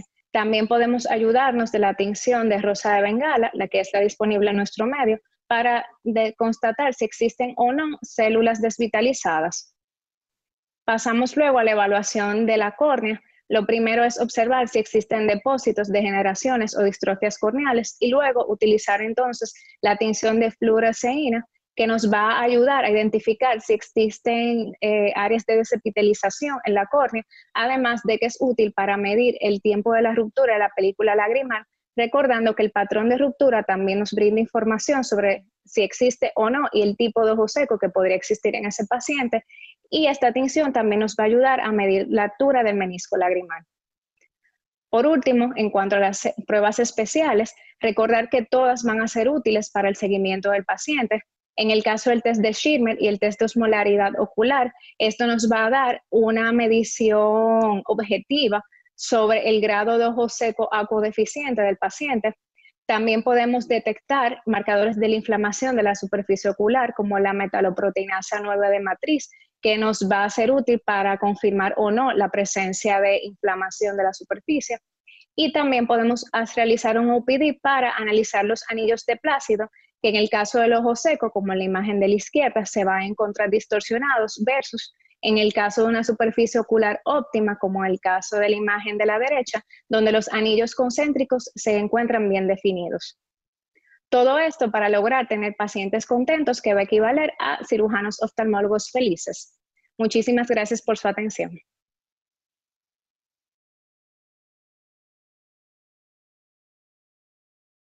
Muy buenos días, gracias doctor Gómez por su presentación. Para mí es un honor estar aquí con ustedes. En esta ocasión vamos a hablar brevemente sobre las cataratas en los pacientes diabéticos. La diabetes mellitus es una de las principales causas de ceguera a nivel mundial, siendo la catarata una de las principales responsables de la discapacidad en dichos pacientes. De acuerdo a la Federación Internacional de la Diabetes, habrá 439 millones de diabéticos en el 2030 y su prevalencia va a superar un 33% en el 2050. El riesgo de desarrollar catarata en los pacientes diabéticos es cinco veces mayor que la población general. Y además de su riesgo aumentado en la formación de las mismas, estas suelen progresar rápidamente. De acuerdo a diversos estudios, la formación de las cataratas se asocia a factores de riesgo como es la edad, la proteinuria, el grado de retinopatía diabética que presentan los pacientes y un control metabólico deficiente. Dentro de los tipos de cataratas más asociados o más frecuentes en dichos pacientes son las cataratas subcapsulares corticales y las posteriores. Existen diferentes mecanismos patogénicos involucrados en la formación de las mismas, como es la vía del polior, el estrés oxidativo y la autoinmunidad. En la vía del polior, aquí lo que ocurre es un aumento del solvitor, lo que conlleva un estado hiperosmolar con infusión de líquidos al cristalino con la consecuente liquefacción de las fibras cristalinianas y la formación de catarata. En el estrés oxidativo y osmótico, este ocurre por el acúmulo de sorbitor y los estados de hiperglicemia, lo cual conllevan a una relación negativa entre los radicales libres de oxígeno y los agentes antioxidantes. Consecuentemente, esto va a producir daño celular por estrés, apoptosis y formación de catarata. Y la teoría autoinmune, en la cual se cree que las cataratas se relacionan directamente a la presencia de anticuerpos en contra en contra de la insulina. A nivel mundial hemos cambiado y hemos dejado atrás el manejo conservador, optando por lo que es la cirugía temprana de catarata, por lo cual, con lo cual hemos obtenido buenos resultados y para seguir obteniendo buenos resultados debemos realizar una evaluación preoperatoria adecuada. Los pacientes diabéticos representan un, reto para los cirujanos, ya que son propensos a infecciones, pobre dilatación pupilar, iris flácido, isquemia, sinequias, cámara anterior estrecha, glaucoma, neovascularización o enfermedades asociadas como las cardiopatías, nefropatías. Es importante realizar una buena historia clínica, incluyendo tanto antecedentes familiares como patológicos personales, sistémicos y oculares. Posteriormente, un examen oftalmológico exhaustivo, biomicroscopía especular, tonometría, gonioscopía, biomicroscopía especular, ecografía, fondoscopía. En la misma podemos eh, realizarla de manera conjunta con el cirujano vitroretiniano, OCT de mácula y angiografía fluorescénica. El examen complementario vamos a buscar o mandar al paciente más bien a los diferentes médicos de cabecera, médico internista, cardiólogo, nefrólogo, endocrinólogo, para valorar lo que es la función cardíaca, renal y metabólica. Es importante obtener un control glucémico óptimo, ya que los estados de hiperglicemia me conllevan a cambios refractivos en el paciente, como es la miopización, y me varían los parámetros topográficos corneales, lo que me constituye una fuente de error a la hora de cálculo del lente intraocular. En cuanto a la técnica quirúrgica, lo más importante es realizar una cirugía sin complicaciones en el menor tiempo posible. Lo más recomendable es la facomorsificación.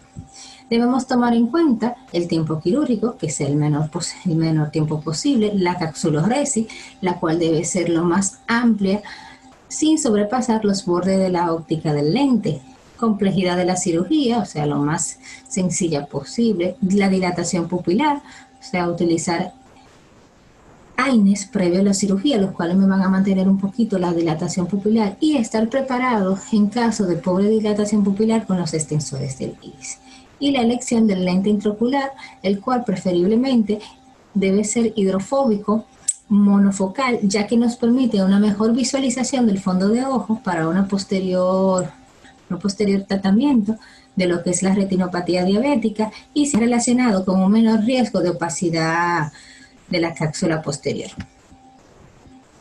Dentro de toda cirugía posterior a la misma pueden presentarse complicaciones como son la opacidad de la cápsula posterior, la cual se ha relacionado con una proliferación de las células epiteliales del cristalino, el edema macular cistoide, el cual es más frecuente en pacientes diabéticos, por lo cual también lo más importante es prevenirlo, ya sea mediante el uso de AINES previo a la cirugía, el edema macular diabético o el empeoramiento del mismo en casos previos, por lo que se considera el uso de anti en el transquirúrgico y la progresión de la retinopatía diabética, la cual se ha relacionado con el tiempo quirúrgico, la clasificación de la retinopatía diabética y un control metabólico deficiente.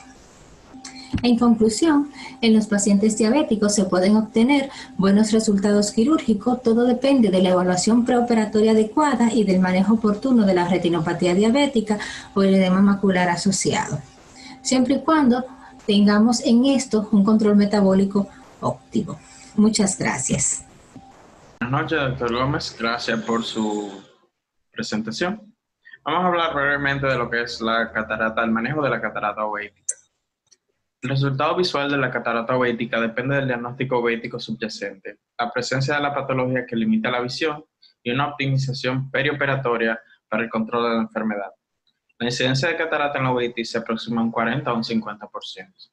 Una evaluación preoperatoria oftalmológica exhaustiva para valorar la presencia de una patología ocular con énfasis particular en la mácula y el nervio óptico es esencial para determinar cuáles pacientes se van a beneficiar de una visión mejorada luego de la cirugía de catarata. Un examen meticuloso de abordaje multidisciplinario puede ayudar a la correcta planificación de la cirugía y determinar la necesidad de realizar procedimientos por estadios.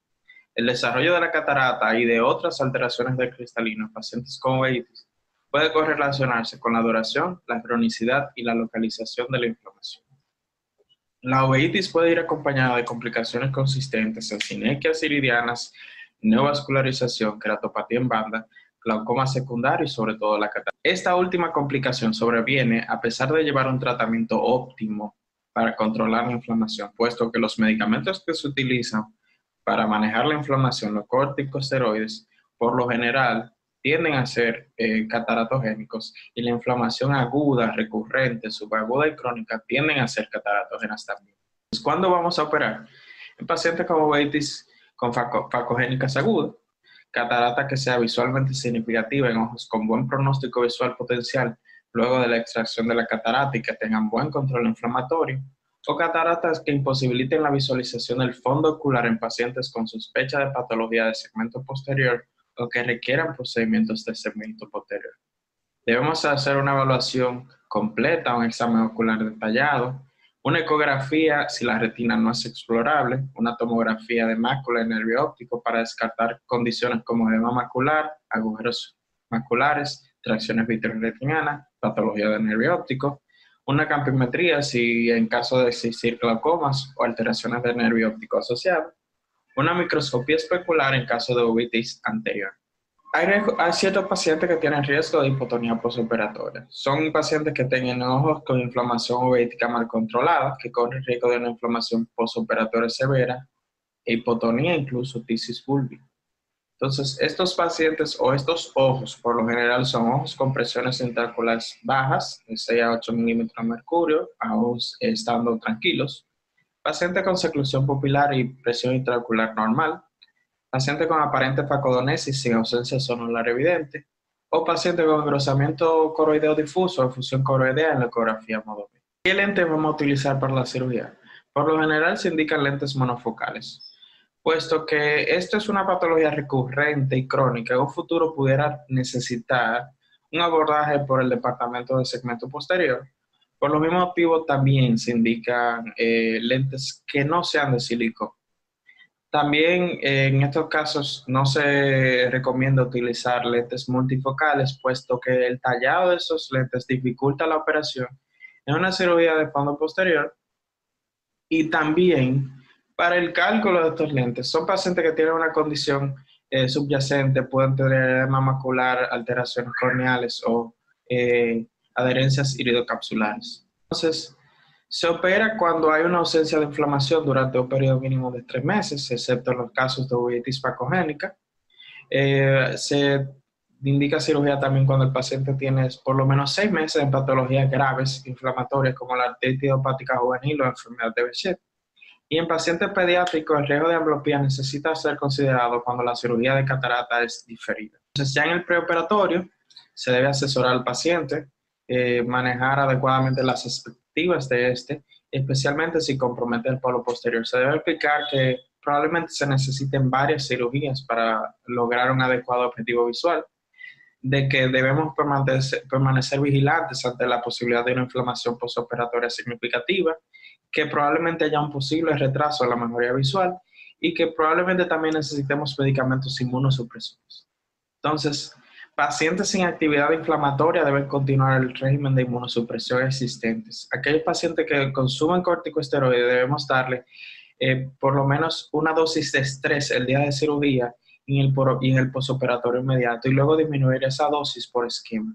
Es de vital importancia en pacientes de casos graves en lo que ha costado obtener una inmunosupresión idónea, consultar siempre al médico de cabecera responsable del tratamiento por si hubiese que alterar la dosis o dar tratamiento de refuerzo antes o después de la cirugía. Entonces, como tratamiento preoperatorio tópico, vamos a utilizar esteroide, prednisolona al 1% cada 6 horas, 3 días antes de la cirugía más o menos.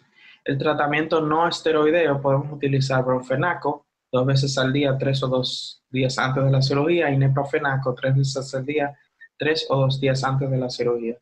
Midriático según el esquema de dilatación de, previo, el, previo a la cirugía. Ya de manera inyectada podemos utilizar triaxinolona de 40 miligramos, 0.3 mililitros de inyección paraocular, si el paciente no presenta glaucoma y no es córtico. Como tratamiento sistémico, vamos a utilizar prenisona, un miligramo por kilo por día, tres días antes de la cirugía para controlar la inflamación perioperatoria en aquellas condiciones muy graves, por ejemplo, enfermedad de BC.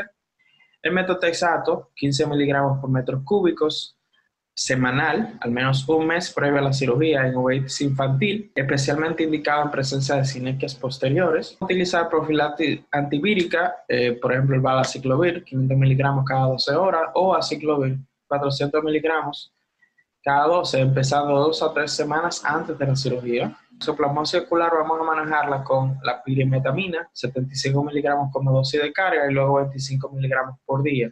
Se debe, hago recalco de que por lo general en esta patología un 36% de los casos puede haber una reactivación de la, de la, de la, patología de tosoplasmosis luego de la cirugía de catarata. Ya en el intraoperatorio, en los niños, eh, la consideración anestésica que vamos a utilizar es anestesia general.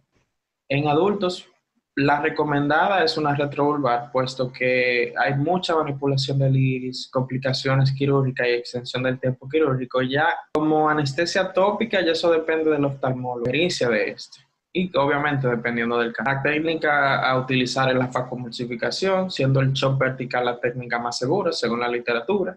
Vamos a utilizar vitrectomía si hay que hacer cirugía combinada, si hay vitritis, edema macular y tracción vitreoretiniana. Se recomienda o se, se hace de manera eh, rutinaria una cápsula rexi posterior en niños, se va a utilizar lente intraocular de polimetilmetacrilato o acrílico cuando se considere implantar. No se les recomienda implantación en, niños menores de 2 a 3 años.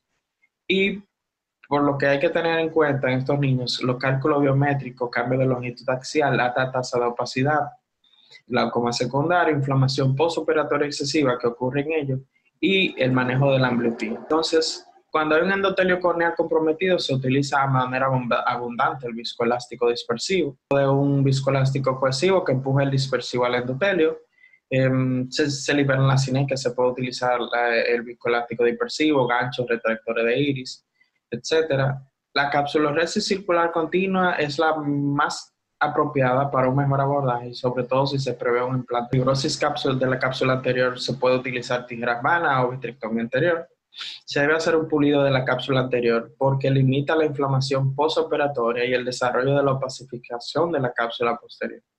En caso de una dehiscencia sonular, que puede ocurrir en, en ojos crónicamente inflamados, si es mayor en cuadrante, se va a recomendar la vitrectomía y la lancectomía. Se ha observado que a lo largo de los años, en las dehiscencias celulares mayores y en las inflamaciones repetidas, se puede producir recaída del saco a la cavidad vítrea derivando de una complicación.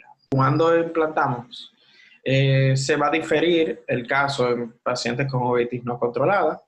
En adultos se recomienda el implante, pero hay riesgo de intolerancia a uveitis intermedia, panoveitis, artritis idiopática juvenil y sarcoidosis. En niños tenemos buenos resultados, excepto en artritis idiopática juvenil. Eh, mejor resultado en la artritis idiopática juvenil con el HLA-B27 positivo comparado que con el grupo de artritis idiopática juvenil oligoarticular con ANA positivo. Se recomienda un control estricto de la inflamación con tratamiento inmunosupresor y recuerden, no es recomendable implantar lentes en niños de menores de 2 años o menores de 5 años con artritis idiopática. por lo general, la acrílica es la, mejor, eh, la que mejor presenta tasa de inflamación y se van a implantar los lentes de forma normal, ya sea en saco o en sulcos. Obviamente, eh, tomando en consideración que eh, las, las implantadas en el sulco pues, pueden tocar el, el, el, iris y causar de por sí una inflamación en este. Vamos a utilizar eh, corticoides intraoperatorios ya de manera periocular, 4 miligramos de dexametasona subconjuntival al final de la cirugía, o de intravitrio si es estrictamente necesario porque puede haber riesgo de glaucoma corticoideo. 0.1 de trencilonol de 40 miligramos.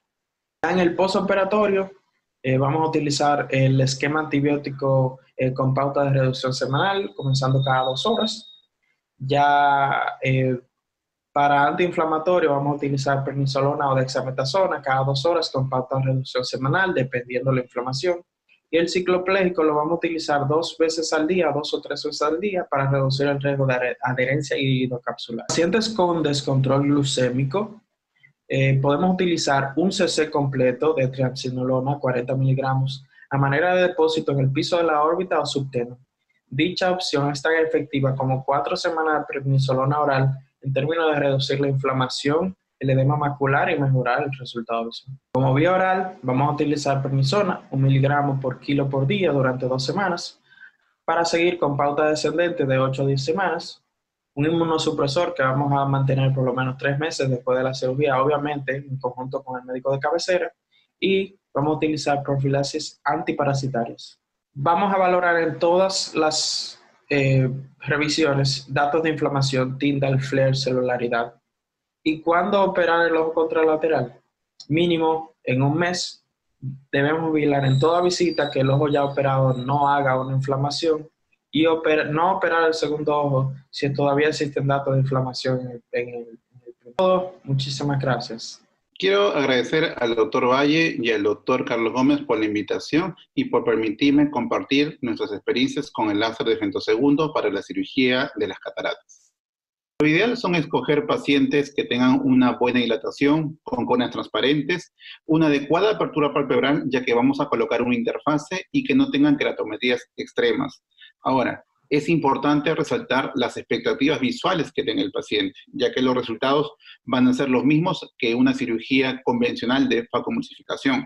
La gran diferencia es que vamos a tener un procedimiento controlado paso a paso y facilitado con este equipo de femtosegundo. En la primera parte de la cirugía, que vendría a ser el acoplamiento, como vemos acá, vamos a tener un sensor el cual nos va a permitir ver la estabilidad que tiene el acople del ojo del paciente con el equipo segundo. Ahora, no nos libre de tener complicaciones como vamos a ver acá.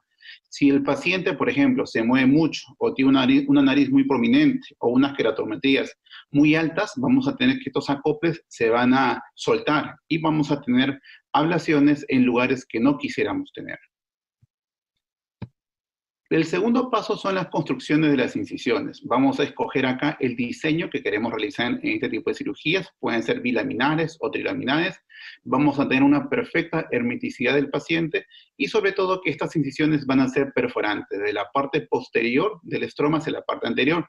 Esta fotodisrupción va a permitir la separación de los tejidos, pero hay que tener mucho cuidado, sobre todo en la distancia que vamos a tener entre el endotelio y la membrana de ya que estas burbujas de cavitación se pueden formar entre ellas y desprender la membrana de Descemet durante el acto quirúrgico.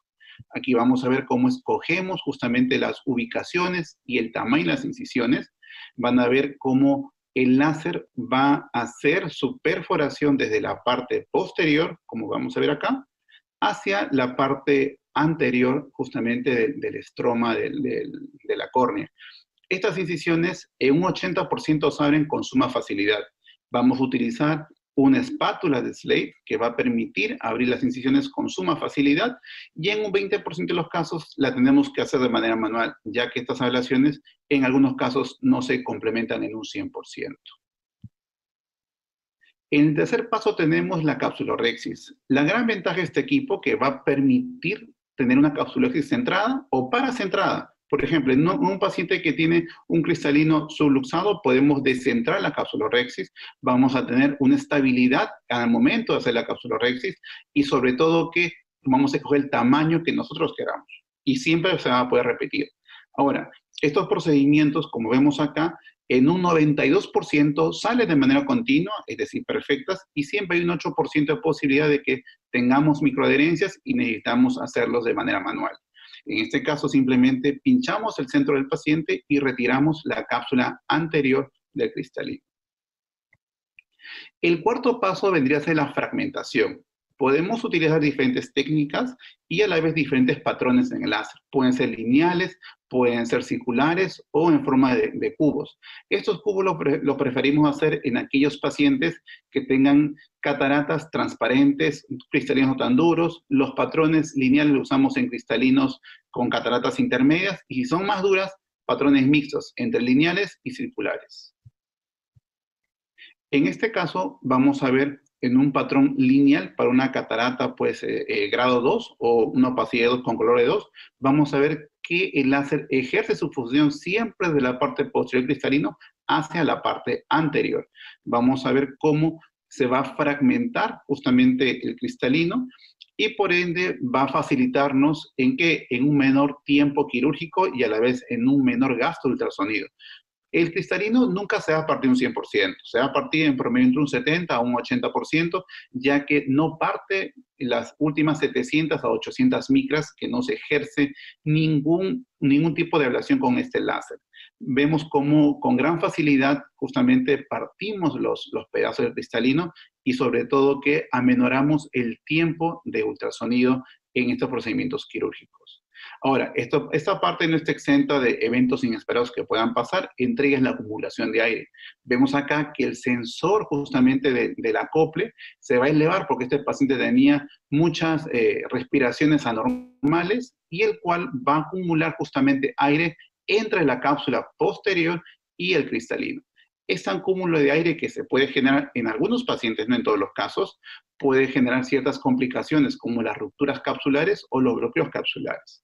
Como vemos, en este caso, se pueden resolver de dos maneras. Número uno, podemos hacer una rotación del cristalino en el cual va a soltar las burbujas, o en un segundo paso que vamos a ver luego a continuación, se pueden hacer pequeñas hidrodisecciones. Ahora, esto se debe a la inestabilidad que vamos a tener durante el acoplamiento del láser de femtosegundo con el ojo del paciente. En esta otra parte vamos a ver cómo se le procede a retirar el viscoelástico excedente y se pueden hacer pequeñas eh, para facilitar la rotación y evitar pues algún bloqueo capsular. Y el último paso de estas cirugías son las aspiraciones de la corteza, que es una dinámica completamente diferente a una cirugía de facomulsificación, ya que como hemos dicho, la fragmentación se da solamente en un 80 a 90% del cristalino vamos a tener la cápsula que está más adherida hacia los restos corticales y es justamente en esta parte de la cirugía donde vamos a tener ciertos eventos inesperados como las rupturas capsulares o diálisis zonulares, en especial en aquellos pacientes miopes altos. A tener en cuenta este paso que es el más importante y a la vez donde vamos a tener mayor cantidad de eventos inesperados que puedan pasar durante la cirugía. Hay dos casos especiales que quiero compartirles con el cual uso bastante el equipo de femtosegundo. El primero son las incisiones arqueadas o incisiones relajantes. En mi país tenemos muchos pacientes miopes, pero miopes con altos astigmatismos. Yo no cuento con lentes tóricos negativos.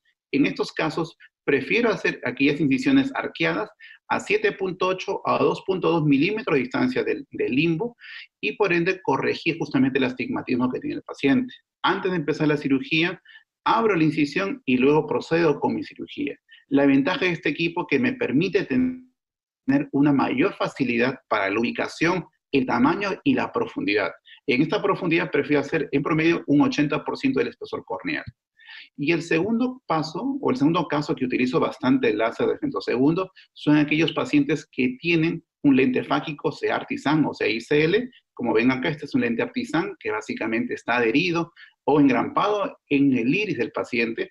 Este, esta máquina me va a permitir hacer justamente la capsulorexis a ojo cerrado, una, con una completa estanquidad, voy a, me va a permitir ver los movimientos del cristalino y sobre todo ver si tengo un tipo de debilidad sonular causada pues por estos lentes artisan. Ahora, de todas maneras hay que hacer un túnel escleral para retirar el lente y también podemos retirar por ese mismo túnel cristalino y colocarle el lente intraocular. Como toda cirugía, no está exenta de complicaciones, una de las cuales son las hemorragias subconjuntivales, las cuales nos van a complicar para los cirujanos que usan Berium o usan el ORA, el cual no va a permitir la verificación del, del ojo del paciente. Pueden haber las succiones, las cuales pueden originar en diferentes etapas diferentes eventos como capsulotomías incompletas, rupturas capsulares o inclusive la luxación del cristalino. Muchas gracias.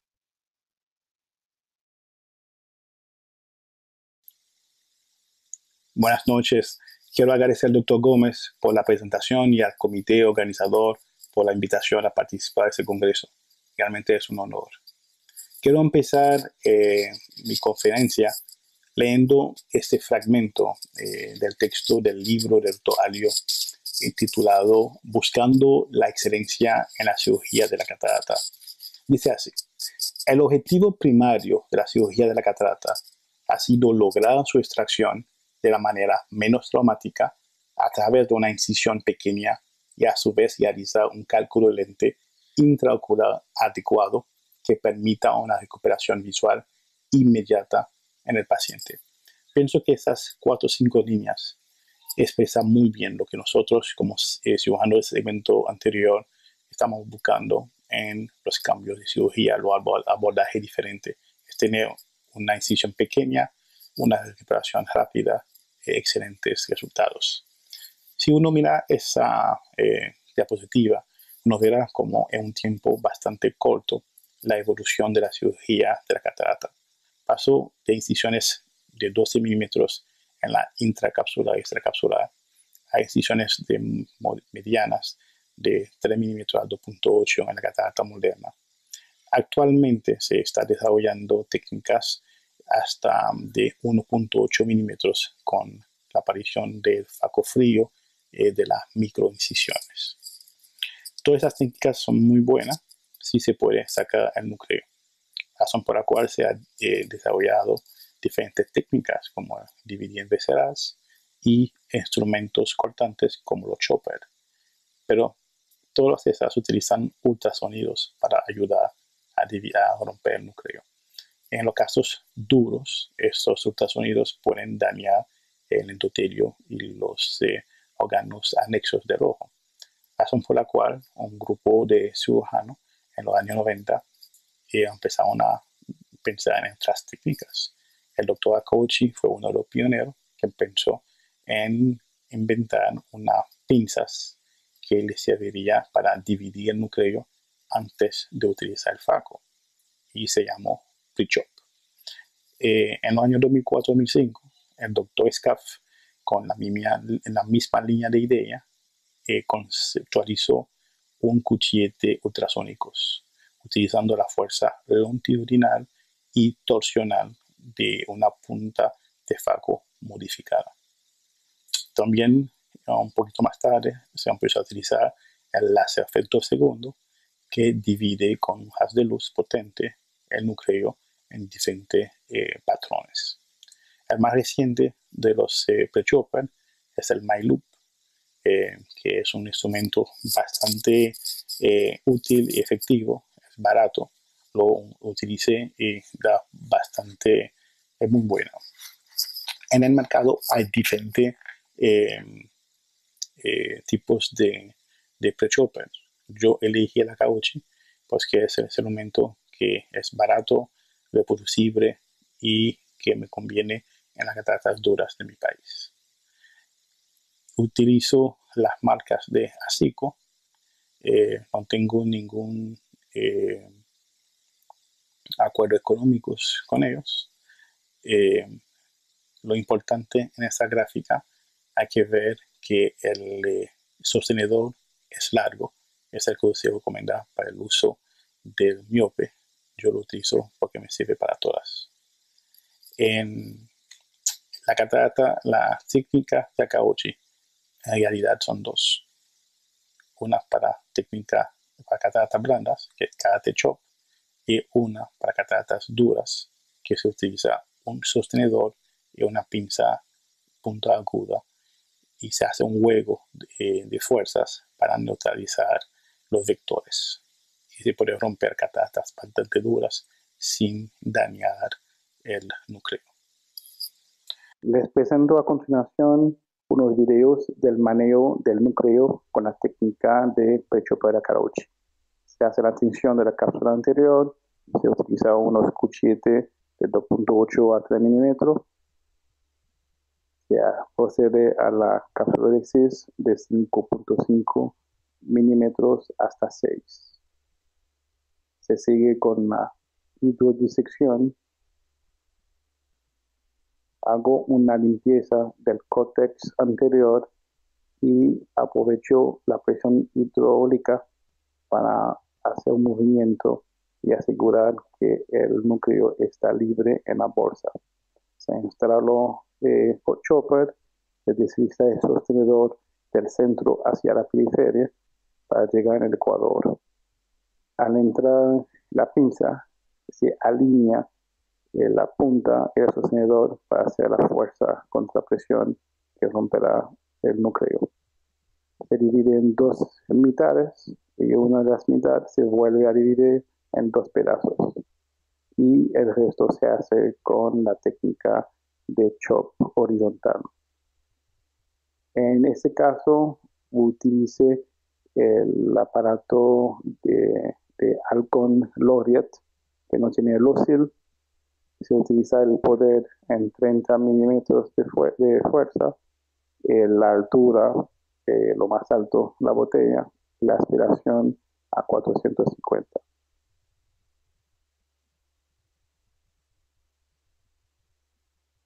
Una vez aspirados los pedazos, se pone el lente, se limpia, una burbuja de aire al final y se termina el caso.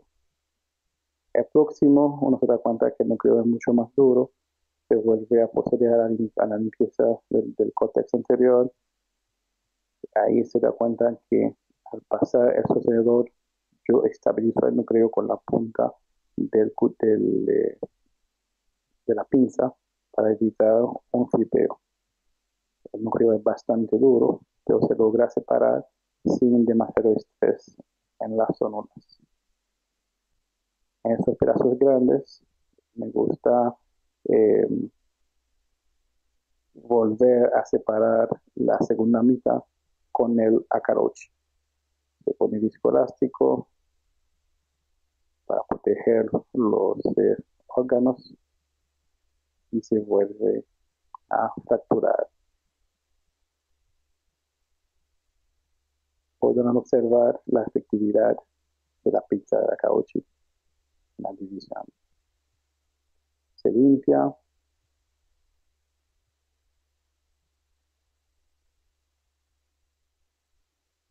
Ese otro caso es de dureza similar a la precedente. Se hace el giro en la bolsa, se limpia, disco elástico y se vuelve a dividir, teniendo en cuenta de empezar del centro hacia la periferia, alinear la pinza con el sostenedor, presión contra presión y separación. Se separa la segunda mitad en los cuadrantes. En estos casos hay que utilizar bastante discos se come cuadrante por eh, cuadrante hasta tener un final feliz. Este último caso, eh, para enseñar que se puede dividir los pedazos en el núcleo en cuatro pedazos. La división yo lo hago según el feeling del núcleo y sobre todo de la cantidad de disco elástico que me queda después de la primera división. Encuentro que ya está, eh, ya es suficiente disco elástico, roto y divido otra vez. Si no, le hago como lo enseñé anteriormente. Por el lente.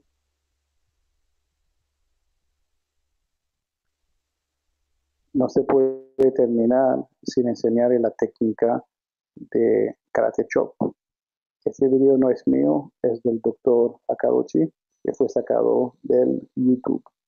Se nota cómo entra la pinza en el centro, divide el núcleo con la parte cortante de la pinza, gira, repite la acción y logra una división perfecta. Para asegurarse que la, parte posterior esté dividida, utiliza la parte roma y al final una disco Como mensaje para llevar a casa, podría decir que para esa técnica hay que tener una buena visualización, una dilatación mediana de 5.5, eh, una buena eh, disección es mandatoria. La alineación de los instrumentos es vital para neutralizar las fuerzas. En el caso de la técnica de karate chop, hay que vigilar las onulas. Una buena separación de la placa posterior es recomendable con una visco disección. Yo quiero dejar eh, eh, como el mensaje final esa frase de un auto anónimo, pero que está lleno de sabiduría. Dice así, la mejor técnica es la que usted domina a la perfección. Estoy totalmente de acuerdo con esa afirmación. Gracias por su atención. Muy buenas noches, muchísimas gracias doctor Gómez por su presentación.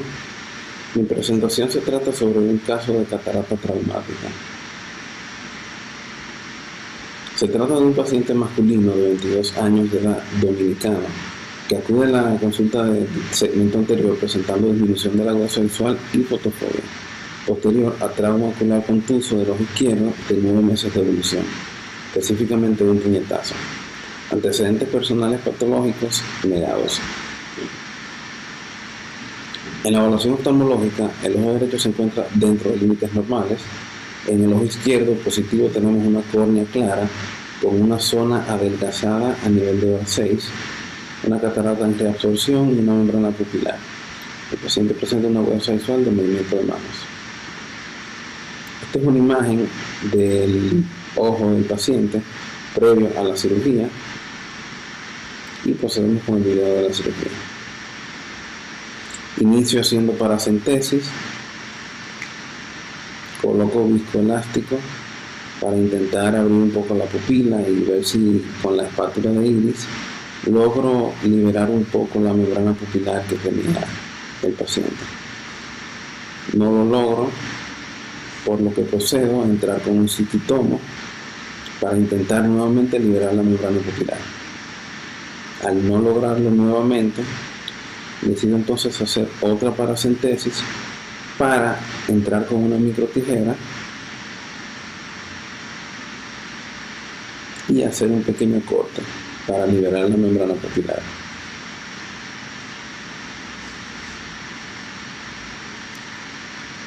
Luego de esto entro con una pinza ultrata y logro liberar la membrana hasta cierto punto. Luego de llegar a un punto donde no logro seguir avanzando, nuevamente tengo que entrar con la micro tijera para terminar de cortar lo que me queda. Luego de retirar la membrana pupilar, intento hacer cinequiolisis para abrir un poco más la pupila, maniobra que no es muy efectiva, por lo que decido colocar ganchos de iris.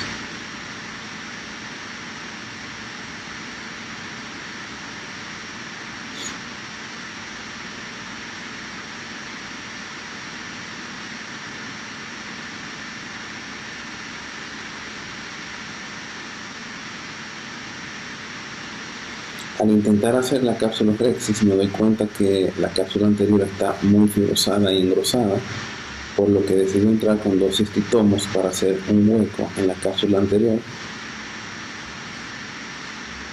y luego entrar con una micro tijera y cortar la cápsula anterior.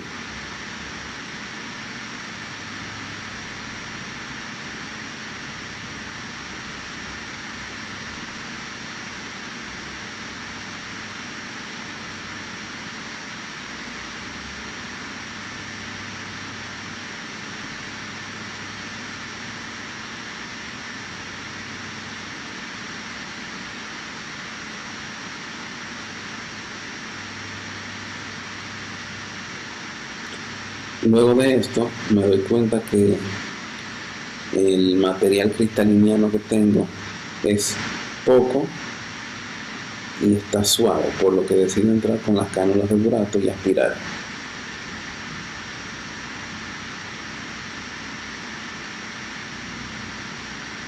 Tiene mucho material cristaliniano adherido a la cápsula posterior, por lo que intento hacer un polish y retirar la mayor cantidad posible.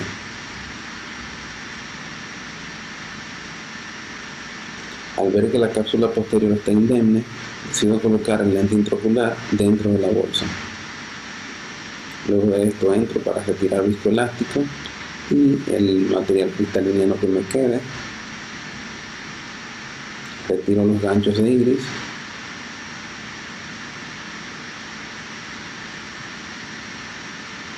Hidrocelo incisiones.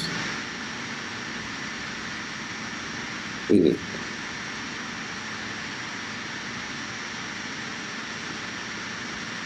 En el primer de posoperado, el paciente presentaba una agudeza visual de 8 dedos con una presión intraocular de 9 milímetros de mercurio.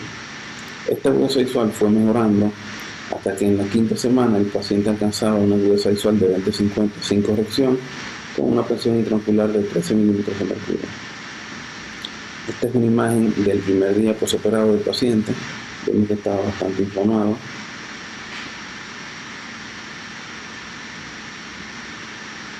Aquí a los 7 días posoperado y aquí a los 21 días posoperado. Muchas gracias.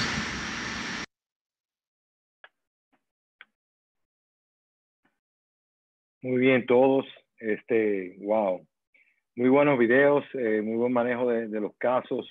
Pierre, Emilio, este, Ginette, muy buena tu presentación y yo creo, y, Cirineo, me encantó lo, de, lo, del, lo, del, lo del fento. Tú sabes que siempre hay una incongruencia con el fento. Mucha gente no le gusta el fento por muchas razones, pero bueno, está ahí y si se puede usar, lo tenemos.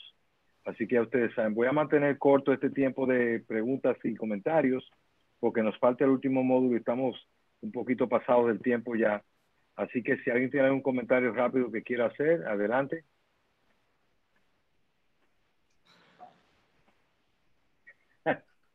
Doctor Valle, usted no puede Muy hablar bien. ahora, porque usted le va a tocar hablar después, el último módulo. Ajá.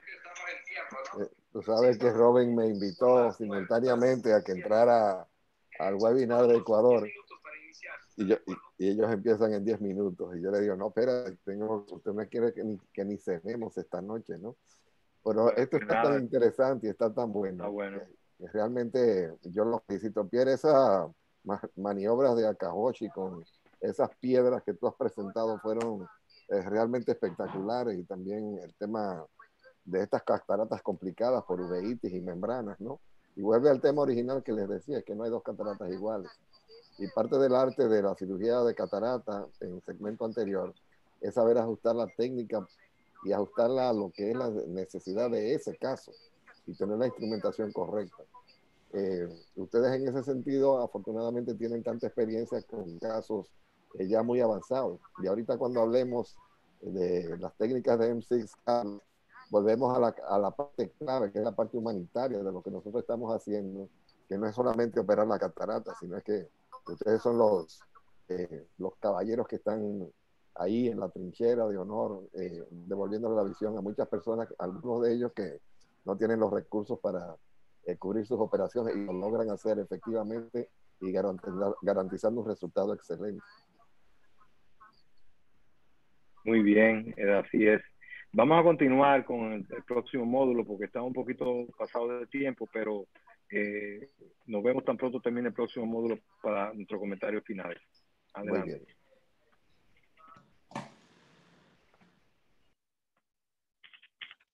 Y en esta tarde es para mí un honor poder presentar al invitado más especial de este segmento, el doctor Juan Francisco Valle, quien es nuestro mentor, quien es mi mentor, mi padre, mi amigo, la persona que me ayudó a ser quien yo soy hoy en la oftalmología. Y para nosotros es un gran privilegio que el doctor Valle todavía está dentro del staff de enseñanza de nuestro hospital y esperemos que esté para el resto del tiempo. Yo creo que el doctor Valle ha sido lo más grande que ha existido en la oftalmología en la República Dominicana. Y para nosotros, miembros del Hospital Elías Santana, es todo un orgullo y todo un honor poder presentar. El doctor Valle nos trae el tema manejo de la ruptura de cápsula posterior. Gracias, gracias del alma. Le doy un profundo agradecimiento y regalo de amistad al doctor Carlos Gómez, quien fuera mi primer residente en el Hospital Doctor Elías Santana, por allá por el año 1985, cuando estábamos los primeros pininos en la formación de residentes de oftalmología. Hoy día un hospital que ha egresado a más de 210 oftalmólogos que hoy día están en todos los rincones del mundo. Pero el primero fue el doctor Carlos Gómez, a quien le tengo mucho aprecio y cariño. Y para tema de esta presentación de hoy, escogí quizás la complicación que más temor le tenemos en la cirugía de catarata, que es la ruptura de la cápsula posterior, tema de muchos webinars, y que es algo que tenemos que tener claro cómo enfrentar durante un procedimiento de catarata. Decía el profesor eh, Barraquer que el cirujano que no quiera tener una complicación, mejor que no opere, porque toda cirugía tiene su complicación y lo importante es no evitarla y también poderla enfrentar en el momento que ocurre. El Hospital Doctor Elías Santana en la República Dominicana está construido en un eh, eh, barrio, un gueto, una favela, que está en las afueras de la ciudad de Santo Domingo, donde diariamente concurren cerca de 800 a 900 personas para ser atendidos por problemas de salud visual. Es un Edén, es un oasis para los pobres de la República Dominicana, donde allí encuentran las más avanzadas tecnologías al servicio de la población dominicana. Entonces el problema, el tema. La causa más común de complicación quizás en nuestro centro, uno de cada cinco la tiene, es un glaucoma, que viene porque la mitad de nuestras consultas es por glaucoma, es una estadística típica del Caribe. Recuerde que en la evaluación de los pacientes preoperatorios está la clave del éxito postoperatorio, o sea que queremos descartar todas las causas posibles que nos ayuden eh, en el acto quirúrgico a evitarlas, y si no evitarlas, a saber cómo enfrentarlas, porque el glaucoma eh, tiene que ser una de las más comunes. Sabemos que hay análogos de la prostaglandina que nos predisponen a la formación edema macular cistoideo, estos deben de ser retirados o por lo menos seis semanas después de la cirugía hay, esta sustitución hace imposible o menos probable el que tengamos esa complicación. Tenemos que hacer las pruebas de glaucoma antes de la cirugía. Igual si sospechamos maculopatías, debemos hacer las pruebas con OCT para descartar, esta condición.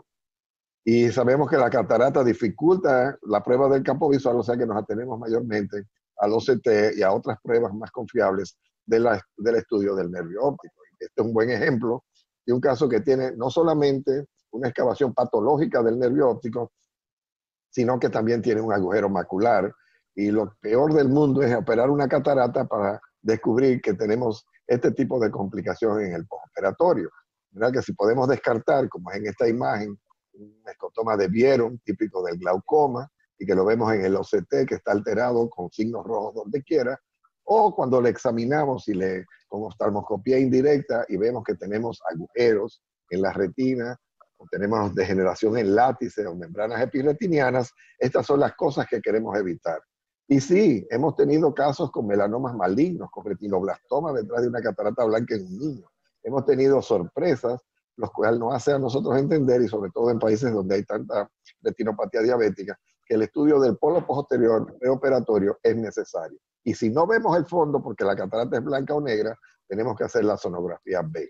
Este es un ejemplo de un caso que compartí con uno de mis residentes hace años, que tenía una incisión de entrada en la córnea una perforación en la cápsula anterior y me decía que veía el cuerpo extraño dentro del cristalino. Sin embargo, cuando sacamos la catarata, que era blanca, miren dónde estaba el cuerpo extraño, una esquila metálica incrustada en la retina.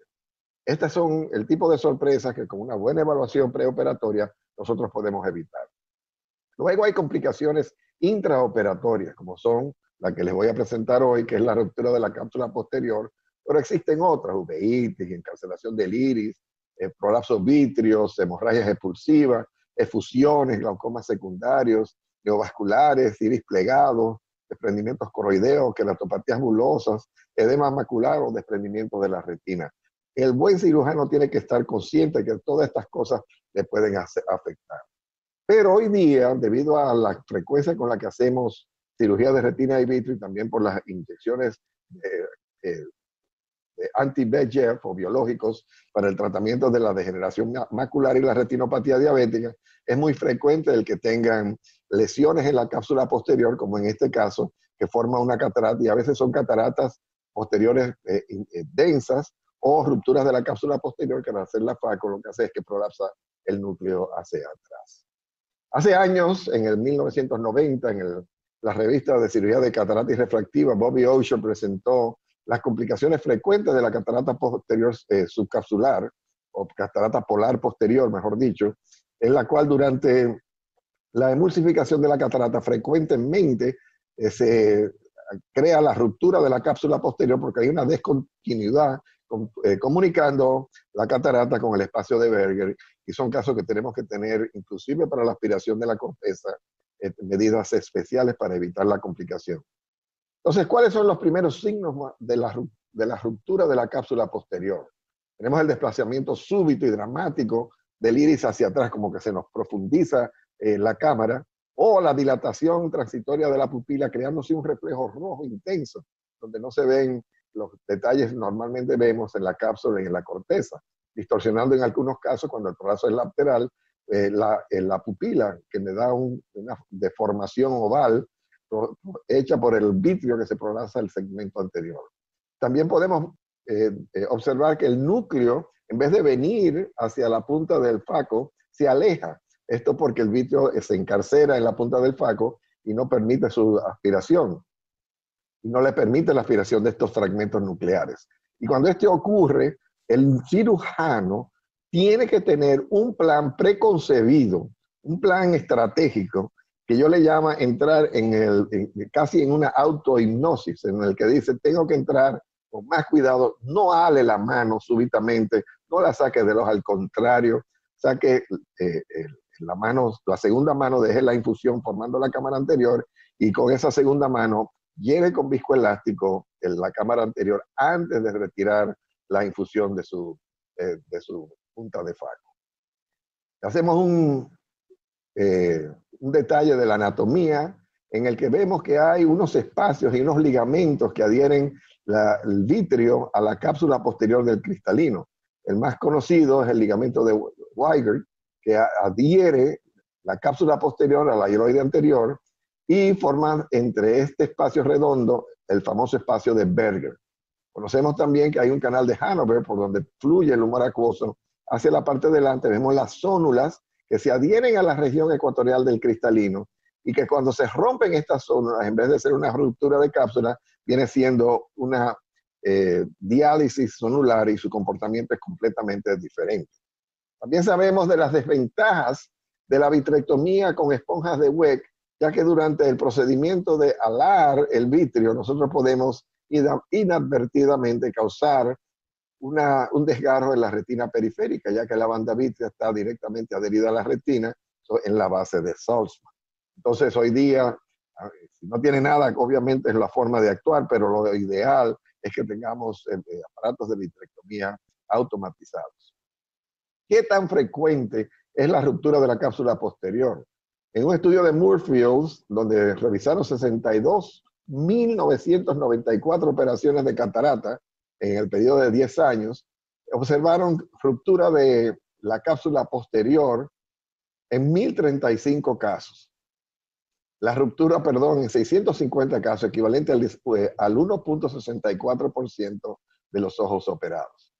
Pero, sin embargo, ocurrió en el 1.72% de los casos que habían recibido inyecciones intravítreas. Esto quiere decir que la inyección intravítrea, igual que la vitrectomía vía pars plana, es un factor hoy día predisponente a la ruptura de la cápsula posterior. Cuando ocurre la ruptura, lo primero, lo primero es reconocer que ocurrió. Sabemos del ego y de la vanidad del cirujano de catarata, que dice que ellos nunca pierden vitro, que nunca se les rompe, pero la verdad, la verdad es que a cualquiera se les rompe la cápsula posterior. Y lo he visto en las mejores manos. Y lo típico en un cirujano alfa, de mucha experiencia, es que le ocurre en uno de 2.000 o a 4.000 casos. Giles hablaba de 25 mil casos consecutivos sin haber tenido ruptura de la cápsula posterior. Pero si está teniendo el cirujano cuatro rupturas en los últimos 200 casos, bueno, pues ya tiene que revisarse. Y en el caso de los residentes, lo permitido es que no sobrepase el 5%. Y si se está sobrepasando, tiene que examinarse y decir qué estoy haciendo mal. Use técnicas distintas que lo alejen de la cápsula posterior, opere más al centro de la pupila, revise su máquina de FACO. Trate de que el núcleo suba, pero no tanto como para dañar el endotelio, pero aléjelo de la cápsula posterior. Y mantenga una lista de sus casos operados y observe sus propios videos cuando esta complicación ocurre, porque ahí aprende dónde es que está posiblemente cometiendo el error. Y a mí me explicó Cáceres que casi siempre el error lo cometemos dos y tres pasos antes de hacer la emulsificación. Quizás en la Rex y quizás en la hidrodisección, quizás en la rotación. Entonces, ¿cuáles son las técnicas más seguras para el principiante? Dividir y conquistar, la técnica de Howard Gimbel. Divide el núcleo con instrumentos que no incidan en la cápsula posterior. El chopper de Akahoshi es para un veterano, porque no conoce el principiante eh, la extensión de la punta de su eh, eh, chopper para llegar atrás. Igual pasa con los dispositivos modernos como el MyLoop y el Ultra Chopper, es una técnica ya para un cirujano más experimentado. Asegure una capsulorexis perfecta, perfectamente redonda, circunlinear idealmente de 5 a 5 milímetros y medio. Reconozca los factores, de alto riesgo, tales como la pseudefoliación o la polar posterior mencionada, que si hay un trauma previo, inyecciones intravitreas previas. Y entonces use las mejores generaciones más modernas de la FACO que tienen sensores en sus puntas que nos permite mantener una cámara anterior profunda durante la facoemulsificación. Y si estás teniendo pérdidas de cámara o el famoso surge de la cámara anterior, obviamente es porque está teniendo más presión vitrea en la cámara posterior y debe de aumentar la altura de la botella y reducir sus vacíos para evitar este, que pueda ocurrir un, un accidente. Entonces, aquí vemos como el pedazo de núcleo en el último instante cede y vuela la cápsula anterior al cristalino, causando entonces la ruptura. Y se lo voy a repetir de nuevo. Entra al núcleo y al aspirar, el cirujano accidentalmente aspira la cápsula posterior ya tenemos una ruptura, sí, pequeña, sí. Y esto es un mensaje importante porque los cirujanos veteranos no pierden vitrio y no rompen la cápsula de la misma forma que lo hacen los cirujanos que están aprendiendo, son más cautelosos. Y aquí viene la sabiduría de detenerse, no retirar los instrumentos, que es un reflejo nato, de cuando uno comete un error es alejar las manos, deje su mano derecha con, si es diestro, con el faco emulsificador irrigando, retire la izquierda y llénelo con viscoelástico para poder mantener la hialoides anterior en la cavidad vítrea y retire entonces, después de apagar la infusión, en la punta del faco. Usando la queratocentesis de servicio para poder inyectar este viscoelástico es fundamental en el momento que ocurre la ruptura. También les recomiendo tener un kit de vitrectomía. Yo siempre tengo lo que yo llamo mi kit, es una bandeja aparte que contiene el viscoelástico el dispersivo, kenalog para eh, reconocer el vitrio, esponjas de merocel, eh, los cuchilletes necesarios para hacer incisiones de queratocentesis adicionales. Y yo acostumbro usar el vitrector de eh, calibre 23 y ya los hay de calibre 25 también. Recomiendo usar una infusión separada para la aspiración y la infusión de lo que es la aspiración. No traten de hacerlo simultáneamente a través de la misma herida, porque esto crea más hidratación del vitrio y mayor prolapso. Tenga suturas de nylon o de prolene, por si hay que eh, hacer un macano suturar el lente. Y las micropinzas calibre 23, yo prefiero las de MST y los ganchos de Sinsky y de Kuhn para estas manipulaciones. Tiene que decidir en el momento de la ruptura si ha de realizar una vitrectomía vía anterior o si la va a realizar vía posterior. Yo altamente recomiendo la vía posterior porque alamos el vitrio hacia la cavidad vitrea, alejándola de las estructuras de la cámara anterior, que son la cápsula iris y el endotelio corneal o la incisión corneal. Cuando trabajamos en la cámara anterior, al contrario, ascendemos, levitamos vitrio hacia la cámara anterior, entonces creamos eh, tracción indebida a la retina y aumentamos el riesgo de edema macular cistoideo.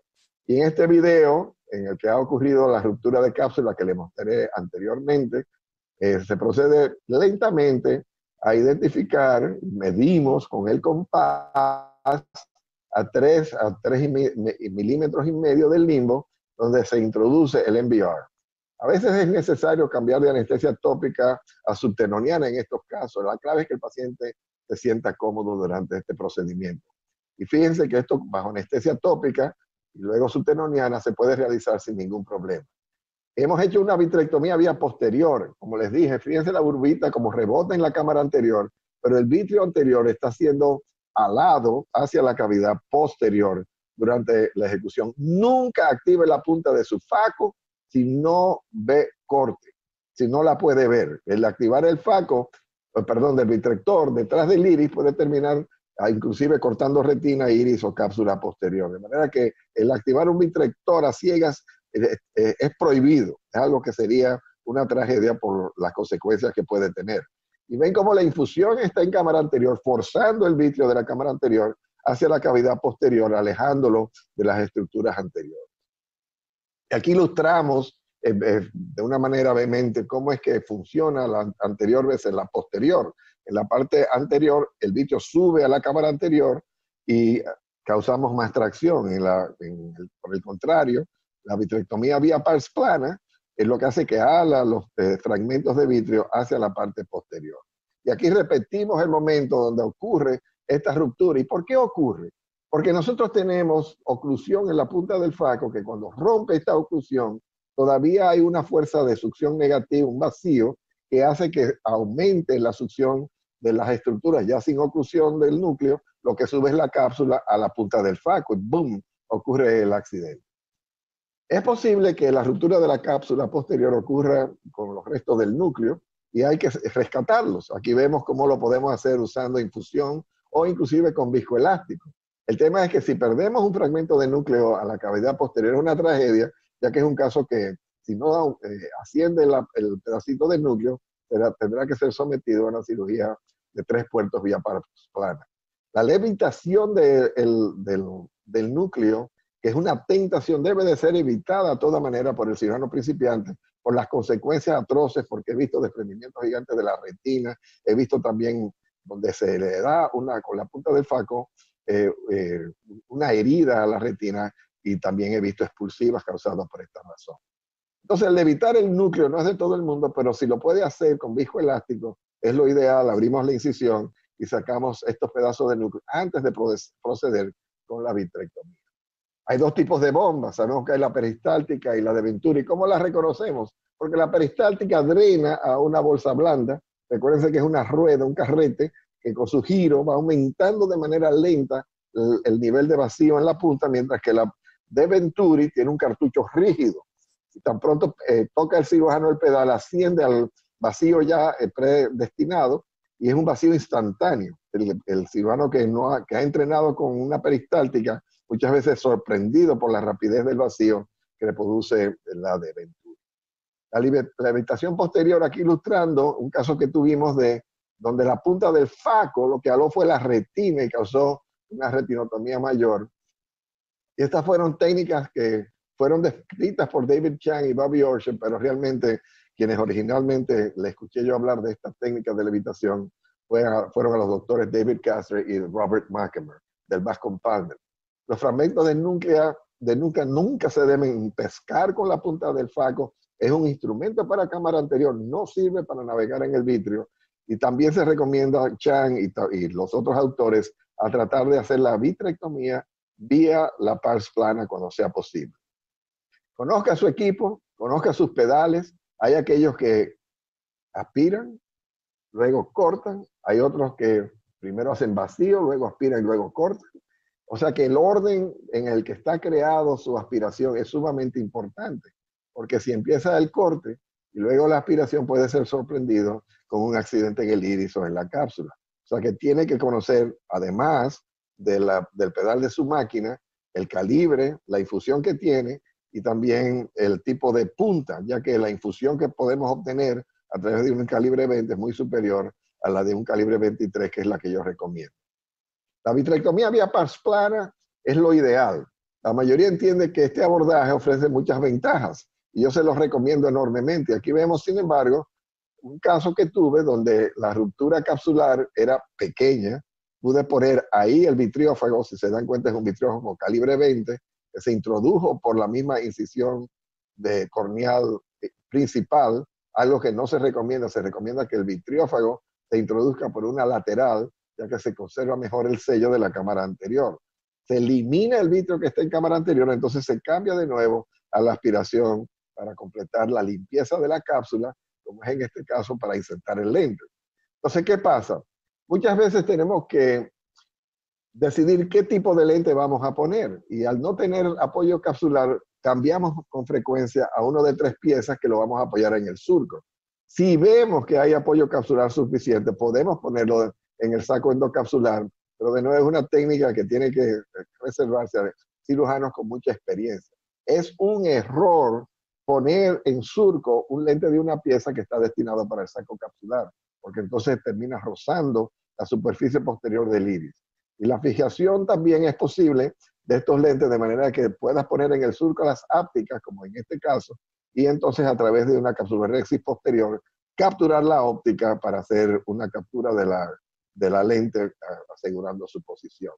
Si va a pasar al surco, tenemos que restar dioptrías a lo estimado previamente con el, cálculo del lente intraocular por el IO del máster o por su lens star. Y aquí vemos la fórmula publicada por Warren Hill, donde usamos 24-28 dioptrías, se reduce por una y media, si es de 20 a 24 una dioptría, y si es de 16 a 20 dioptrías la lente, solamente tenemos que restar el 0.5. Yo casi nunca, nunca utilizo un lente de cámara anterior por el tema del endotelio a largo plazo.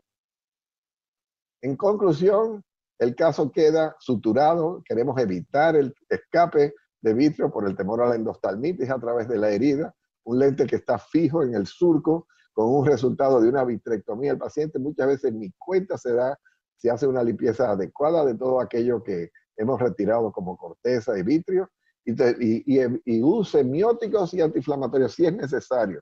El miótico tiende a hacer algo inflamatorio, de manera que el colocar Kenalog o el usar eh, Duresol o Istan es muchas veces favorable en estos casos para evitar el edema macular cistoideo. Cuando usted rompe la cápsula eh, posterior, el riesgo de endoftalmitis aumenta y también el riesgo de edema macular cistoideo es 15 veces mayor. Suture su herida principal siempre, se lo recomiendo. Y le he puesto en estos minutos eh, el manejo de la ruptura de la cápsula posterior y espero que sea de su agrado. Muchas gracias. Gracias, doctor Gómez, por su introducción. Gracias por su tiempo. Muy bien, muchas gracias, doctor Valle. De verdad que sentarse a escucharlo en todos los, cualquier foro que estemos. Yo particularmente que he compartido con usted en muchos foros internacionales, ha sido siempre más que un placer, ha sido un verdadero privilegio. quiero decirle a todos los, participantes, a todos los panelistas que han estado hoy en este día, que estoy muy orgulloso, estoy muy agradecido, estoy más que complacido con todos los esfuerzos que ustedes han hecho para estas presentaciones.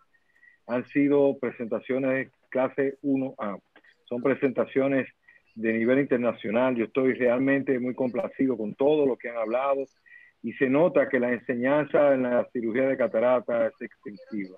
Hay mucho tema, hay mucha tela que cortar, hay muchos detalles, hay muchas cosas de qué hablar y cada uno de ustedes hablaron cosas importantes, cada uno cosas diferentes.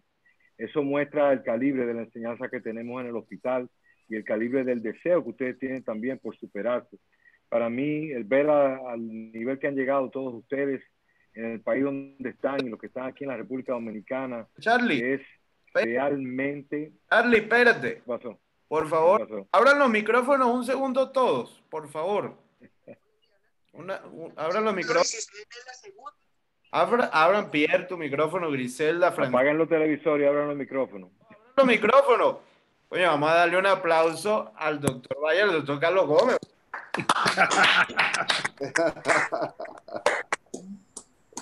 Continúa, Carlos. Perdón. No, Charlie. Este, Primero, the first one, the only. Muy bien. Estoy tan orgulloso de todos ustedes. es una muestra de lo que hemos alcanzado en el hospital hasta el día de hoy. Yo creo que estamos, algunos de los que ya están terminando su fe, que son impresionantes cirujanos, Francisco, la doctora Cristina que viene soplando por ahí, eh, Carlito que, que, ya está acabando con la romana, eh, y la doctora Griselda, que la tenemos finalmente ya en el hospital de manera fija como attending, eh, que nos ha sido de gran ayuda.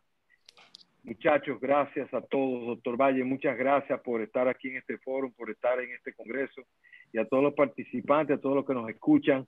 Gracias por su, continua, eh, su continuo apoyo con nuestro hospital y con todo lo que hacemos. Seguimos hacia adelante y seguimos trayendo muchas cosas. no se acaba el congreso, acaba el día de hoy con el segmento de, eh, segmento anterior, pero seguimos con más cosas hasta que terminemos la semana que viene. Muchas gracias a todos.